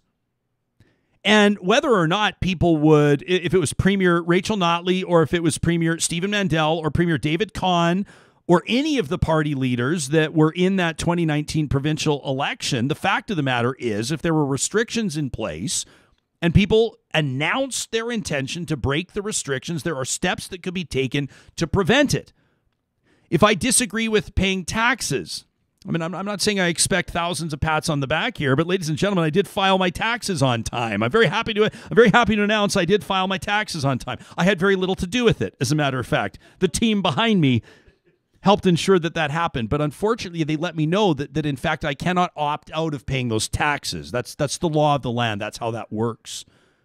When it comes to uh, trafficking cocaine or trafficking human beings or driving impaired or abusing your spouse or stealing from people or scamming people and defrauding people. It doesn't really matter your personal perspective nor how you feel about the premier or the prime minister. You pay the price. And that's the thing, to be honest, Sarah, that I'm more hung up on than anything is why it, all of a sudden there's this perception that whether or not we adhere to the laws of the land is a matter of personal conviction and an optional one at that. That to me, that that's exactly where I get hung up because it's not about uh, the ability to be like, ah, that law, I'm gonna, yeah, that law I'm gonna use. Okay, no, that law I'm not gonna. Nah, I don't, I don't like that one. That one is an inconvenience. I that not interested. And I think that's where the kind of patchwork of enforcement had what it's done. I mean, to Sam's point, it's it's been this build, this build of oh, we don't we don't enforce these rules seriously, so you don't need to take them seriously. And looking at, I mean, I I was just interested because looking at, you know, this isn't the first, this isn't our first rodeo. Um, around having a pandemic. The nobody, span- nobody will blame you for for saying that, Sarah. Thank you. Yeah, that, that was very that was very well played. I try. Um, so the Spanish flu, it was in Alberta. I mean, it was all over the world, but it was in Alberta and around uh, between 1918 and 1920, and it affected uh, 500 million people. And you can say, I mean, what you were just speaking about, Ryan, about the idea that, oh, if it was the NDP government, there would be more infractions. No, actually, when we look here, we see that the masks mandate for the Spanish flu. So, a century ago, the Board of Health ordered citizens to wear masks in public. And so it was mandated, it was actually required. Whereas currently, during the coronavirus, no, Masks have not been mandated. Um, some businesses are requiring customers to to wear them when they enter the premises. So it's now been downloaded to individuals who don't really have any, you know, recourse. If someone doesn't, I mean, yeah, they get they get told that they uh, can enter the the business, but as far as enforcement, there's no way to actually enforce it through fees or uh, tickets of some sort. There's closures. Uh, there were schools were closed during the Spanish flu, and right now schools only some of them are closed. Wouldn't it be? I mean, to say something that, that lacks the profound nature that I would hope to add to something like this, to, to point out the obvious, but just to just to wonder, you wonder how different public attitudes may have been with the lack of the World Wide Web, mm. With the lack of the internet, with the lack of social media. Uh, perhaps more difficult for public health professionals and authorities to communicate these mandates, but also fewer opportunities for jackasses to release their so called alternative facts, right? Yeah. F- fewer armchair scientists sharing their personal thoughts on Facebook. I mean, you wonder if there was more buy in or if the defiance perhaps wasn't as evident because the information, the images weren't as easily shared. I would have been curious yeah. to see what the buy in would have been 100 years ago, 103 years ago versus today. I, yeah, that is a really interesting point. I, but I do feel that you know the there is it can be used as a really fantastic tool to get credible important information out there. I think what the lack has been has been that there's not been consistency. Hmm. The consistency to me is what has been the problem. If we had had consistent measures, because frankly, I can't keep them all straight, they keep changing all the time. If we had had consistent rules right out of the gates, man, I keep using rodeo terms, but anyways. um, if we had consistent, uh, we could buck the trend. We really you want me to wrap that up this. for you yeah, with a thank bow. Thank you. That was that was a triple threat. That was a hat trick, if you will. Yeah, we're taking a look live into our inbox here, where Dan says, uh, "Jespo, longtime listener, first time writer. Hey Dan, thanks and welcome to the show on air." Says five years ago, the Beast forced the evacuation of Fort McMurray. People came together work camps, set up rooms for families that were unable to evacuate by way of highway, WestJet and Air Canada stepped up to fly folks to Edmonton and Calgary to literally escape the fire.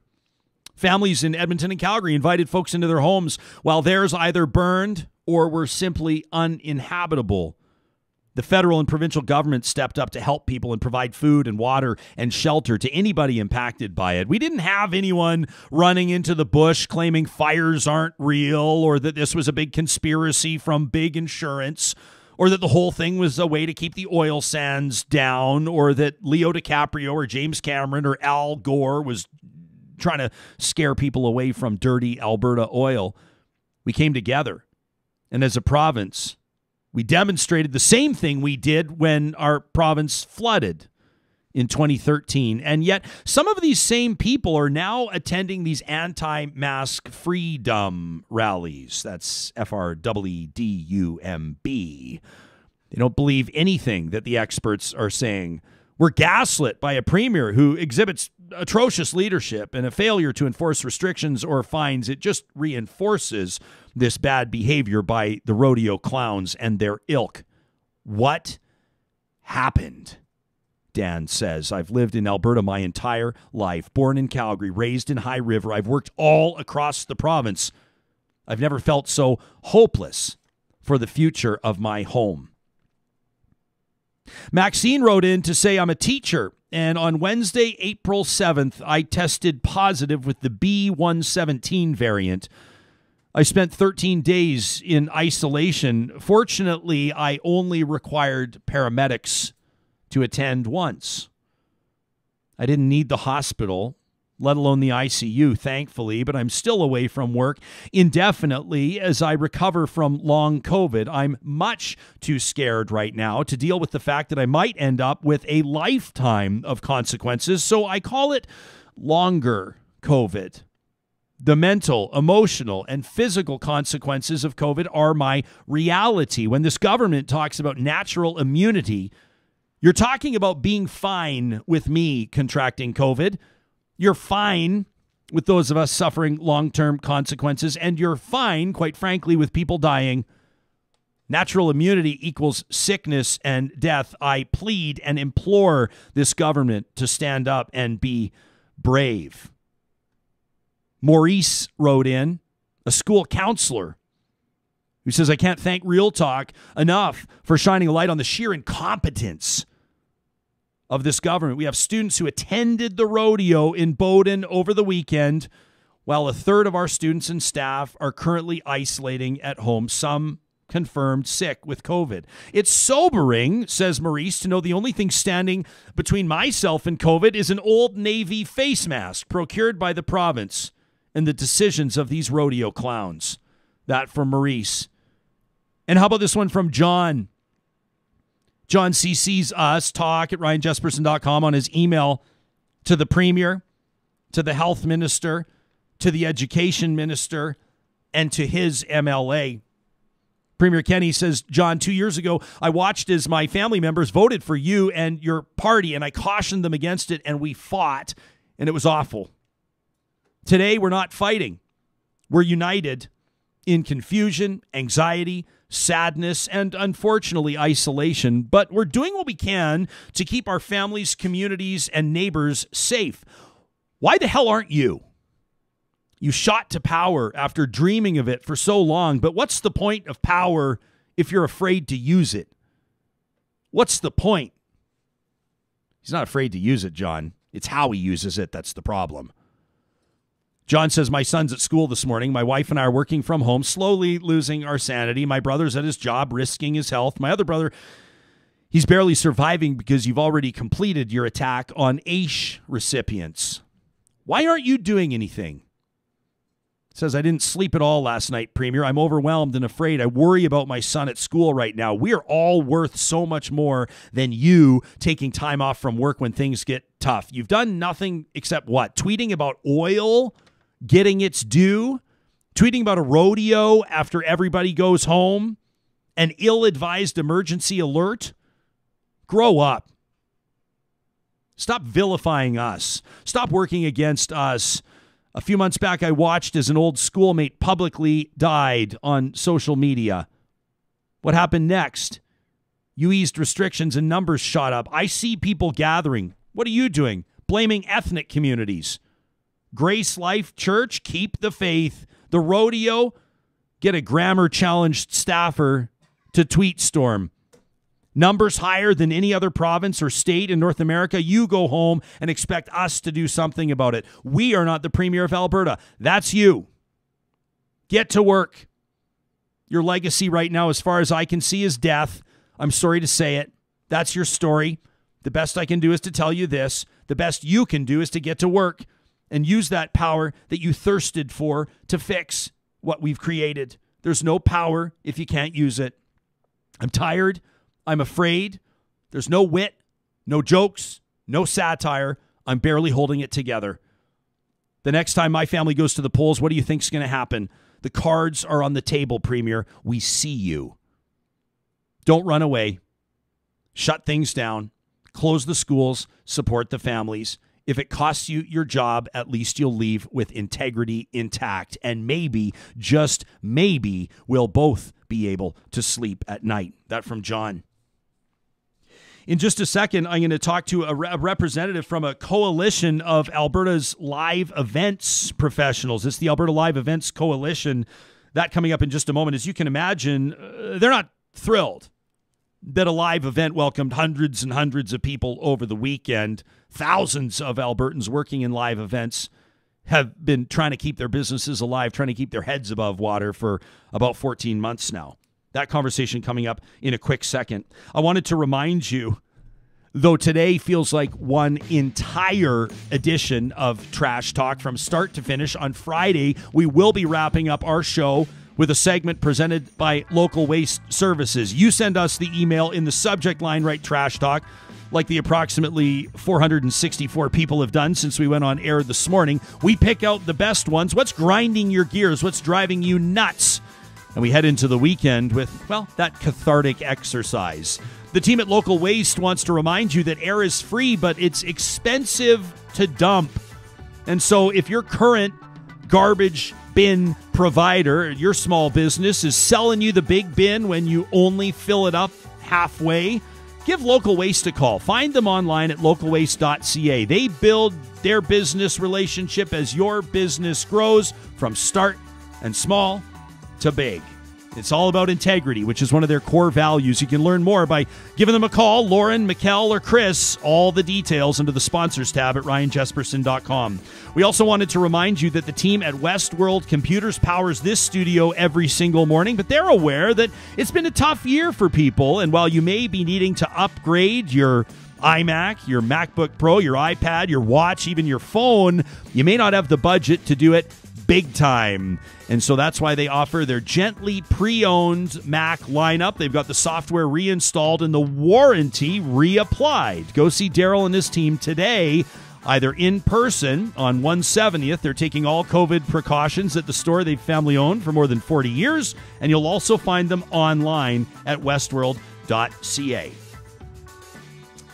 Caitlin McElhone is the owner at CM Events. She's an award-winning professional event planning uh, company. The steers the ship there. I've had the pleasure of working with her myself at events in past, and Caitlin understands firsthand what it's like to have an entire industry basically ground to a halt as a result of this pandemic. She's here this morning speaking on behalf of a task force that was established in March of 2020 to discuss best practices for staging live events in a safe manner. It's called the Alberta Live Events Coalition. Caitlin, welcome to the show and thanks for being here.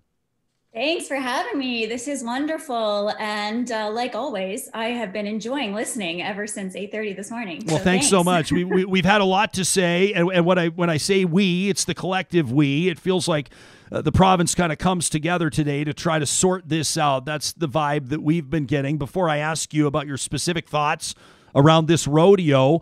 Uh, why don't you give us a pretty clear sense, as best you can, of what this past year or so has meant for you and the thousands of other event professionals across the province of Alberta? Thanks, Ryan. Yeah, um, uh, I mean, I, I, feel like the live events industry is one that almost nobody knows about. And so, anytime we've talked on the media, uh, expressed our story, our frustration, the dire dire state that I mean, you said thousands, it's tens of thousands of people in just Alberta, almost 300,000 event professionals across the country. Um, you know, we are intertwined into so many industries and we were collapsed overnight. No warning, no conversation, no, hey, how can we work together? Just you're done, out of business. Here's some money to help you get through. Um, and that's super devastating. And, you know, although I shared the huge amounts of anger, I mean, it makes me emotional just thinking about uh, these rogue events starting to happen um, without getting proper exemptions and going through the channels and not trying to keep people as safe as possible. It hurts our industry. We have already been closed for over 15 months. We were closing back in February, like last February. We were the first to close. Our industry will be the last to open everything you know like i don't think people really understand what it is that event professionals do the value we bring to our cities and to the country the economic impact that events have on tourism and in just general revenue for each of the cities and towns across this province. It is billions uh, that is no longer there right now. We need to get back to work and we need to do it safely. And every time a rogue event happens it sets us back even further. So you're uh, like like literally millions of other people across the country. I was watching my pal Ian Hanomansing last night anchor the National on CBC. It's their lead story, the end the lockdown rodeo in Alberta. Where's your head at as you're watching those highlights and as you're uh, paying attention to the chatter on social media? How are you feeling this weekend? Yeah, I, I mean same as a mimicked in so many of your viewers. So much frustration so much anger. Um, i also share um, you know a, a, similar opinion to sarah's. There is a huge underlining issue here that that i feel like maybe we don't talk about enough throughout the pandemic. I although do not condone the alberta live events association does not promote this we event professionals are angry, right? Everyone wants to get back to work, but we need to do it safely. We need to work with government. We need to have a runway of time. Um, all those things need to be put into place first.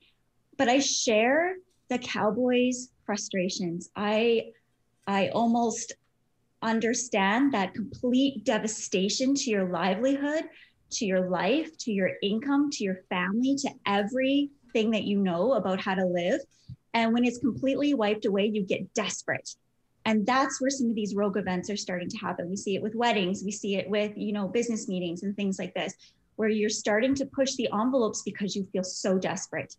You just want it to be over. I get it. We want it to be over too, but but like you said, look at these numbers. We, you know, not all events are equal and not all events can be held safely right now. Uh, and we need to work together not against the system. We need to work together to move forward. Caitlin, I'm curious for, for what you're seeing, and, and and as mentioned, I mean this is this is a coalition. How, how many members, by the way, of the of the Alberta Live Events Coalition? We have about 50 um, uh, kind of uh, advisory group uh, members who've been working with us for uh, just over a year now. And we have kind of a core team of about 10 that have been diligently working with government on so many calls, so many emails, so many meetings um, just desperately trying to get attention, trying to get a seat at the table um, so that we can um, help to um, guide some decisions uh, around events and gatherings and help to create language that is consistent. You know, I share that frustration. So many inconsistencies this year.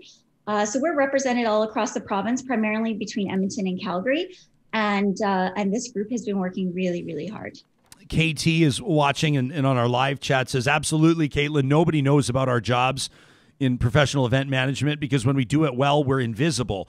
And that is the truth. Uh, the best wedding planner is the one that you never notice. The best AV pro, audiovisual, uh, saying this as a professional event host, is, is the one that nails it every single time. People take it for granted almost how talented they are. Among your group of, of 50 and then the advisory council of 10, I'm sure that you have eyes and ears all over the place. How common are these so called rogue events? You touched on weddings. What else are you seeing? How common do you think this is that may not be as high profile as this rodeo? Yeah, I mean we're we're starting to see it more in the last kind of 6 weeks for sure, especially since spring has started, the weather is nicer, people are just done, right? Um and I I mean I get I get I get where that comes from. And I'm super proud of so many of the event professionals that I know within this industry who have said no. You know i understand that you have called you have this wedding that you think is small for only 50 to 70 people or you have you know this small private event or you have this small meeting or whatever it is. But no we will we cannot participate in that. It goes outside of the guidelines. But if you'd like to run a safe event within the guidelines we are here to show you how to do that and and where the disappointment is and the immense amount of frustration is when people are like okay no problem we'll just call around until we find someone who will. And they will. They will find someone who will be like yeah no problem i'll i'll do that event for you for 50 people outside of the the guidelines and the rules. Because people are getting desperate for their livelihoods to pay their bills to keep their businesses afloat to just move on and uh, uh, i know with the alberta live events coalition we did reach out to this rodeo. We expressed huge amounts of concern. We encouraged them not to go ahead. And and we received pushback, we received negative comments, um, but we would have loved the opportunity to work with them, show them how to go through the exemptions with Alberta Health Services, go through how to keep uh, an event at this point of the pandemic as safe as possible for for your guests, uh, how to and how to set that up, because event professionals are risk managers. Our job is to keep people safe at events. That is our job besides the pandemic, that is always top of mind. You know, how do you get people in line control safely? How do you set up your floor plan or your site map so that people are safe, so that they can evacuate if needed? We are constantly analyzing risk of events and we really want government to understand this we are we are not some fluff industry that just started for no reason we are trained and educated smart and we work with really really good people who can keep events safe but we can't do it if people are just are just doing it for no reason because they're angry. Can you, That's not helpful. Caitlin, can you give us some more insight into what the message was back from rodeo organizers to your coalition? I mean, what specifically did they say? Um, you know, essentially just that they were upset that we were not supportive, you know, uh, being part of the live events industry and that they were going to go ahead regardless. Um, and, and just kind of left it at that. And, um, you know, at that point, I mean, there's, there's not much else that that we can do, right? We hope that, like has been chatted about this morning already, that government and RCMP kind of step up and maybe take action, or that you know they didn't get as many people as they were anticipating, which obviously wasn't true.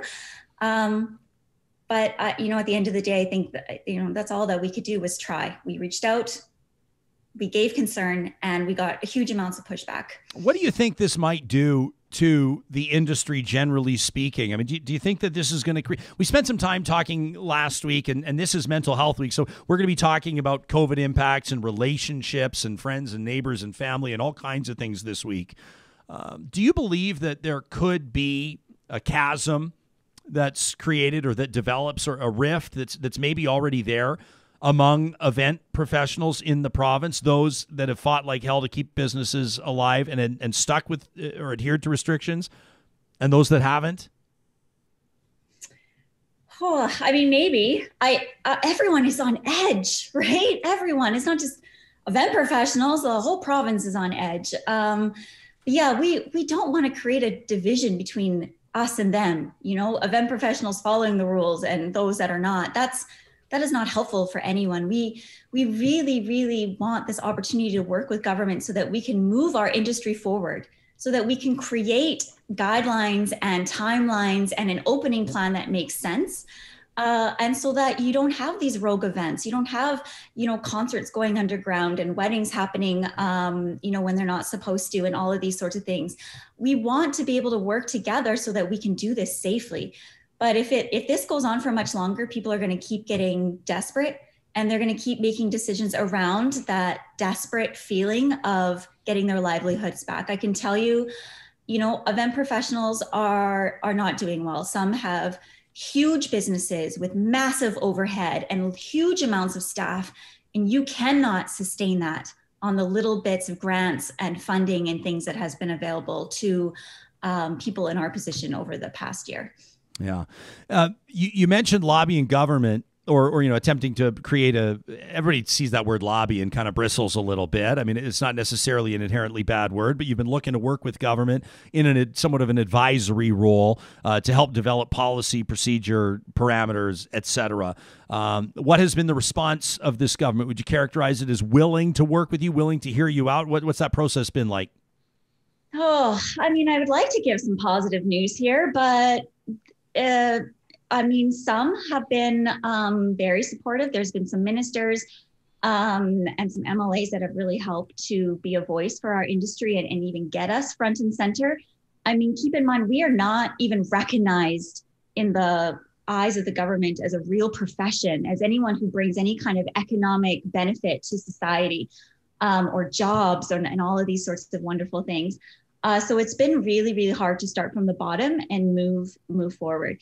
And only now, uh, it has taken us, you know, over a year, but we have now been given a small seat at the table to have round table discussions with Dr. Hinshaw's team and Jason's Kenney's team to try to figure out how to move forward. And there are some big events um, uh, that would like to go ahead in the summer. Um, they don't want to happen without proper exemptions and proper guidance and, and all these sorts of things. And we need to have a seat at the table to move forward. Uh, Alberta, I mean, Edmonton, we're festival city. We are known globally for our events. This is not just something small that has gone away for a year. This is a huge part of Alberta's culture. This is a huge part of our economic revenue. This is a huge part of our job pool that needs to start to come back. But we need to do it together. Yeah. Uh, Caitlin McElhone uh, is the owner at CM Events. I should not deny you your other official title as well, Logistics Queen. I've seen you in action and a representative of the Alberta Live Events Coalition. You can find them at AB Events Coalition on Facebook. Caitlin, thanks for your advocacy. I can't wait to be back at work with you. I can't wait to be in a room of 2,000 people that are inoculated when we can do it safely without kind of looking over our shoulder metaphorically and otherwise. I can't wait to start fundraising again. I can't wait to be celebrating people's achievements. I can't wait to be making a whole lot of noise, clinking glasses, spilling beers on each other, hugging, shooting selfies. It's going to be a wonderful thing. And I know we'll be back there. I know we will. Thank you, Ryan. Yes, we will be back. We will, and we just and we are encouraging companies and individuals to be diligent. Let's do this together. We want events back. Oh, we want them back, and we are here and we are working on it. So let's do it together. You got it. Thanks, Caitlin. Really appreciate it. That's Caitlin McElhone of CM Events. You know, she touches on that. People are so eager to get back to work. People are desperate. Nobody denies that. Everybody's desperate. It's not just the people at the rodeo Everybody's in trouble. Everybody's desperate in their own way. Everybody's exhausted. Everybody's sick and tired. Do the folks that are putting on the boots, and throwing on the cowboy hats, and heading out to Bowden for the rodeo think they're the only ones? What makes them so special? Caitlin talks about that desire, you know, to, to hold the wedding, and so you move it underground, or the desire for an event professional to earn that ten or fifteen thousand dollars that they so desperately need, so they agree to do the rogue event, where then people become infected. My wife, as a matter of fact, tweeted about this this weekend. Carrie Skelton, she's a lifestylist, a blogger. You can read her work at carrieskelton.com. Give her a follow on Instagram. She says, you know, to rally with no masks because you're tired of wearing masks only to be the reason we'll all have to wear masks even longer. And the reason more people will die and travel restrictions will be extended, and the list goes on. This is idiocy and selfishness at its finest. You look at the jurisdictions that are essentially back to normal, so to speak, and they all have one thing in common. They enacted strict measures and they stuck to them, and there was enforcement, and people bought in. And now they're back. I promised I'd read as many tweets as we could fit into the show. Those of you that used the hashtag rodeo clowns, you tagged our show, you responded to my tweets. Denise said, you know, United Conservative voters claimed they wanted fiscal responsibility, and they did. They condemned NDP spending to create Alberta jobs, then bawling and whining about their perceived loss of freedom. They selfishly became rodeo clowns, further crushing livelihoods and increasing government spending on healthcare. That from Denise. Let me say my personal take on this is, is th- this is not on all United Conservative voters. I see a, a lot of uh, messaging online, and and, I, and I believe some of it to be unproductive and divisive and dangerous, as a matter of fact. Everything along the lines of if you voted for Jason Kenney, you are responsible for this. What I'm seeing is Alberta conservatives, United Conservative Party members stepping up and saying, This ain't us. And this guy does not represent what this party needs to represent. The accountability needs to start at the grassroots of the party. Jason Kenney may not listen to you, he may not listen to me, but he'll listen to his donors and he'll listen to the people that bought party memberships and that voted for him. And it starts with you, my fellow Albertans. Tom says, you know, this event, this rodeo marks a collapse of any credibility Alberta has for restrictions and warnings of enforcement going forward. Shauna says it's unforgivable that the premier and the chief medical officer of health and the health minister are choosing to allow the worst spread in over a year to go on unchecked. Half restrictions, no enforcement is a choice. And Shauna says, as far as I'm concerned, they're responsible for all new cases. Onion on my belt says, Here's some freedom. Are they seeking hospital care? Look at their phones. If GPS puts them at the rodeo or any other lockdown protest, they get escorted out. Freedom's the right they want? Fine. They can get it over the right to health care. I see a lot of people saying that, Sarah. If you attended the rodeo, you should surrender your right to public health care. Of course, that's not how it works. And we've not been a society that's conducted itself in that way. If you smoked, you don't get the treatment for your lung cancer. If you overate, I understand I could step in one here, you don't get treatment for diabetes. If you rode a motorcycle, we won't look after your shattered femur. That's not how we work, and it's not how it goes. No. And I don't think that's how it should go. I think, I mean, with that, that because not everybody that is going to be showing up uh, at hospitals uh, took that approach. I mean, people have spoken today about how the people that attended the rodeo, their kids are going to go to school today, and people will be infected that way. The thing that just keeps standing out to me is like I'm I'm very um, taken aback and words we, words are failing me because there isn't a word that actually like I can say disappointed, I can say angry, I can say disheartened, but it's but but times a billion or a trillion. um to me I'm I'm solution focused. So I'm wondering, okay, so we we are hearing from hundreds of people via social media, via email.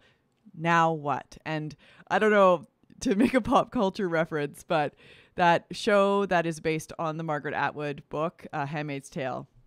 Uh, the fourth season just came out, and in it, uh, maybe it's going to be a spoiler alert, but here we go, spoiler alert. Um, the main character June says, you know, I'm paraphrasing, we, we keep waiting for someone to show up to to help us and to rectify the situation and and, and save us. And she says they're not coming. we have to do something. And so to me that's where my where my gut is now pushing me is okay, so what are the steps we can take? What we we know thanks to this show that there is, you know, a large contingent of folks that say this is not okay. We are not okay with this. Something needs to be done. What can be done? So that's where my mind is going now is okay, so what are our options? I know that, you know, speaking with the leader of the opposition, Rachel Notley, saying, you know, that they need the, the government needs to show up so they can talk about what measures can be taken. And to say, to couch it in the idea that, oh, it's because we're scared of COVID, um, we're worried about the spread of COVID, that's why we're not going in. Mm, that doesn't wash. It just it doesn't. We need we know that it's it's because they know they will be held accountable unfortunately, you know, we are as far as like government levers, what are our options? The the option around bringing Trudeau in is That's not an option. I mean, it's theoretically It's not a serious option. No, precisely. So so what what are our options? That's where I'm that's where I'm going right now. Well, it starts with engagement hmm. and it starts with demanding more from your government. Hmm. And it starts with phone calls and emails and, and, and messaging to shows like this.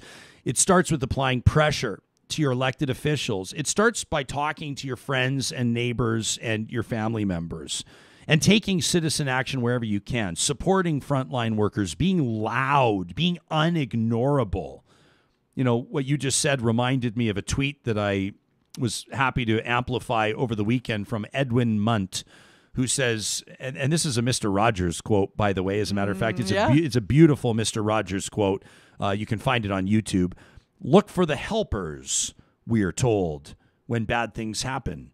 The premier is not a helper. He's done nothing but make it harder for the helpers. A profound betrayal of public office. But I wonder, like I really wonder about you know, we have to make noise, absolutely. But how many lawn signs can we have? Let's find out. Okay.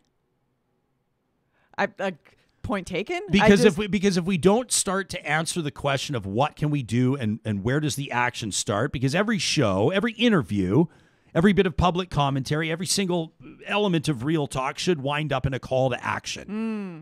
We inform ourselves and then we act what's the call to action the call to action might be as we get into positive reflections a few minutes a call to action might just be to go outside and take a breath of fresh air and tell somebody you love them we'll wind the show up with positivity trust me I can't wait for it. I don't want to wallow in this despair. But at the same time, that's what they want. They want you to blow off some steam and then forget about it and move on. They see you angry about curriculum. They see you angry about coal exploration on the eastern slopes. They see you angry about elected officials telling you to stay home over the holidays and then traveling to Phoenix and Mexico and Maui and then they see you forget. Hmm. They see you forget that there are still lingering questions and an open investigation about the leadership race. They see you forget about the fact that they're taking control of people's pensions. They see you forget about lifting caps on things like tuition and car insurance. They see you forget about thing after thing after thing. Jason Kenney said it himself in a speech a couple of years ago that you legislate with such speed that it's virtually impossible for the opposition to do its job. It is a strategy. And the people of Alberta have the power to remind this government who calls the shots. The people have the power, and that starts with citizen action. It has to start somewhere because if we don't believe that letters and phone calls and lawn signs and public pressure are effective, then what? Well, I, I think that those are part of the equation. I'm I'm hearing uh, you know, there's there's you know, chatter around a strike of some sort. A general strike. Yeah. To to basically say, you know, okay, so money talks, money's the the bottom line here for this government. So let's let's, you know, talk their language, which is to not show up to work and grind the economy to a halt. Maybe then they'll listen. I don't know. To me it's it frustrates me to hear that, you know, event planners have to decide you know where are their values and should they and, and it's not just event planners. I mean it's people working at um, processing plants. It's people working at restaurants. But why is it their job to enforce and to make these tough calls? It's it needs to stop being downloaded um, to people that actually don't have a way to properly enforce. So i'm not i don't mean to disparage lawn signs. I think that they're important and they're part of the equation. Um, I'm just, yeah, I'm looking for solutions. So, and as you can tell, I've kind of come to a, a stop on that and wondering, yeah, what can we do short of, I mean, I, I almost envy, maybe I shouldn't even say this out loud. Um, but this is real talk. So here we go. um, the idea that, uh, you know, the American public, they got a chance to go to the polls and do the referendum on the leadership. But we've still got two years. And there's a lot like, and if we're legislating, if if Jason Kenney is legislating at that breakneck speed, heaven only knows where we're going to be in two years. If I'm a United Conservative Party supporter, I know that there's no way in hell that Jason Kenney wins another election in the province of Alberta. And I recognize that a new leader is going to need an opportunity to put a stamp on the party. And I'm also recognizing the importance of putting in a leader that Albertans can connect with, that can mm. that can prompt Albertans to reevaluate their understanding of what this party represents. I don't know if Jason Kenney makes it to the next election. If he does, if his arrogance and if his stubbornness prompts him to stay in that position, I think I think he's going to get walloped at the polls. I really do, and I wouldn't be surprised to see a change in leadership. The question is who. You, you could replace Jason Kenney with somebody that would be worse, believe it or not. Uh, and that would be a huge decision for United Conservative Party members, many of whom are friends and family of mine, many of whom I know love this province adore this province, live as proud representatives of this province. Mr. G responds to me on Twitter says, you know, combined with the, the legislative shutdown, talking about the rodeo, combined with the shutdown of the legislature, the lowbrow hoedown has forced me to extend my rage gauge. Rage gauge might need to be a segment on Real Talk. We'll give Mr. G credit if we do it, Sam. Hey, Kenney doesn't want to haul his ass in to face the music because it's too uncomfortable to sit with his head up there, says Mr. G. Steph says, you know, just as January 6th, that's all you need to say. January 6th, everybody knows when you say January 6th, just as that was not an ad hoc protest event in D.C. that somehow came together, neither was this rodeo. The number of people, many of whom are not local, the venue, the animals, all reek of a moneyed and expert organization. Who are they? wonders Steph. Jeff says the most galling thing to me about this rodeo clown story is the completely arbitrary enforcement of regulations. Alberta Health Services will fence off a church, but refuses to stop a rodeo. I mean, let's give Alberta Health Services a little bit of credit for fencing off a church after weeks and weeks and weeks of non-compliance and quite frankly after if, the Easter weekend. After the Easter weekend. And if I know where they're gathering now, if I know I have a hard time believing that the province doesn't. I have a really hard time believing that the RCMP and Alberta Health Services don't know where that church is gathering now if I know. Tina says, I'm a healthcare worker and we are exhausted. How many times have we heard that if we did a word cloud of the show today, I think exhausted might be the biggest one. Tina says, I've not seen my parents nor siblings in over a year as we try to do the right thing and not travel. there in northern Alberta. I cried when I received my vaccine as I finally saw hope. Now I only see chaos again. That from Tina. Lisa wonders why there are so many people in Alberta that seem to be so contrary to compassion, to belief in science. Says, I don't understand. And I know that unfortunately nothing anybody can say or what the science tells us will change their minds. Brian says it's depressing, demoralizing, and downright pisses me off. A lack of common sense, courtesy, or any leadership in this province, it seems. I miss my family, and this is just a slap in the face. That from Brian.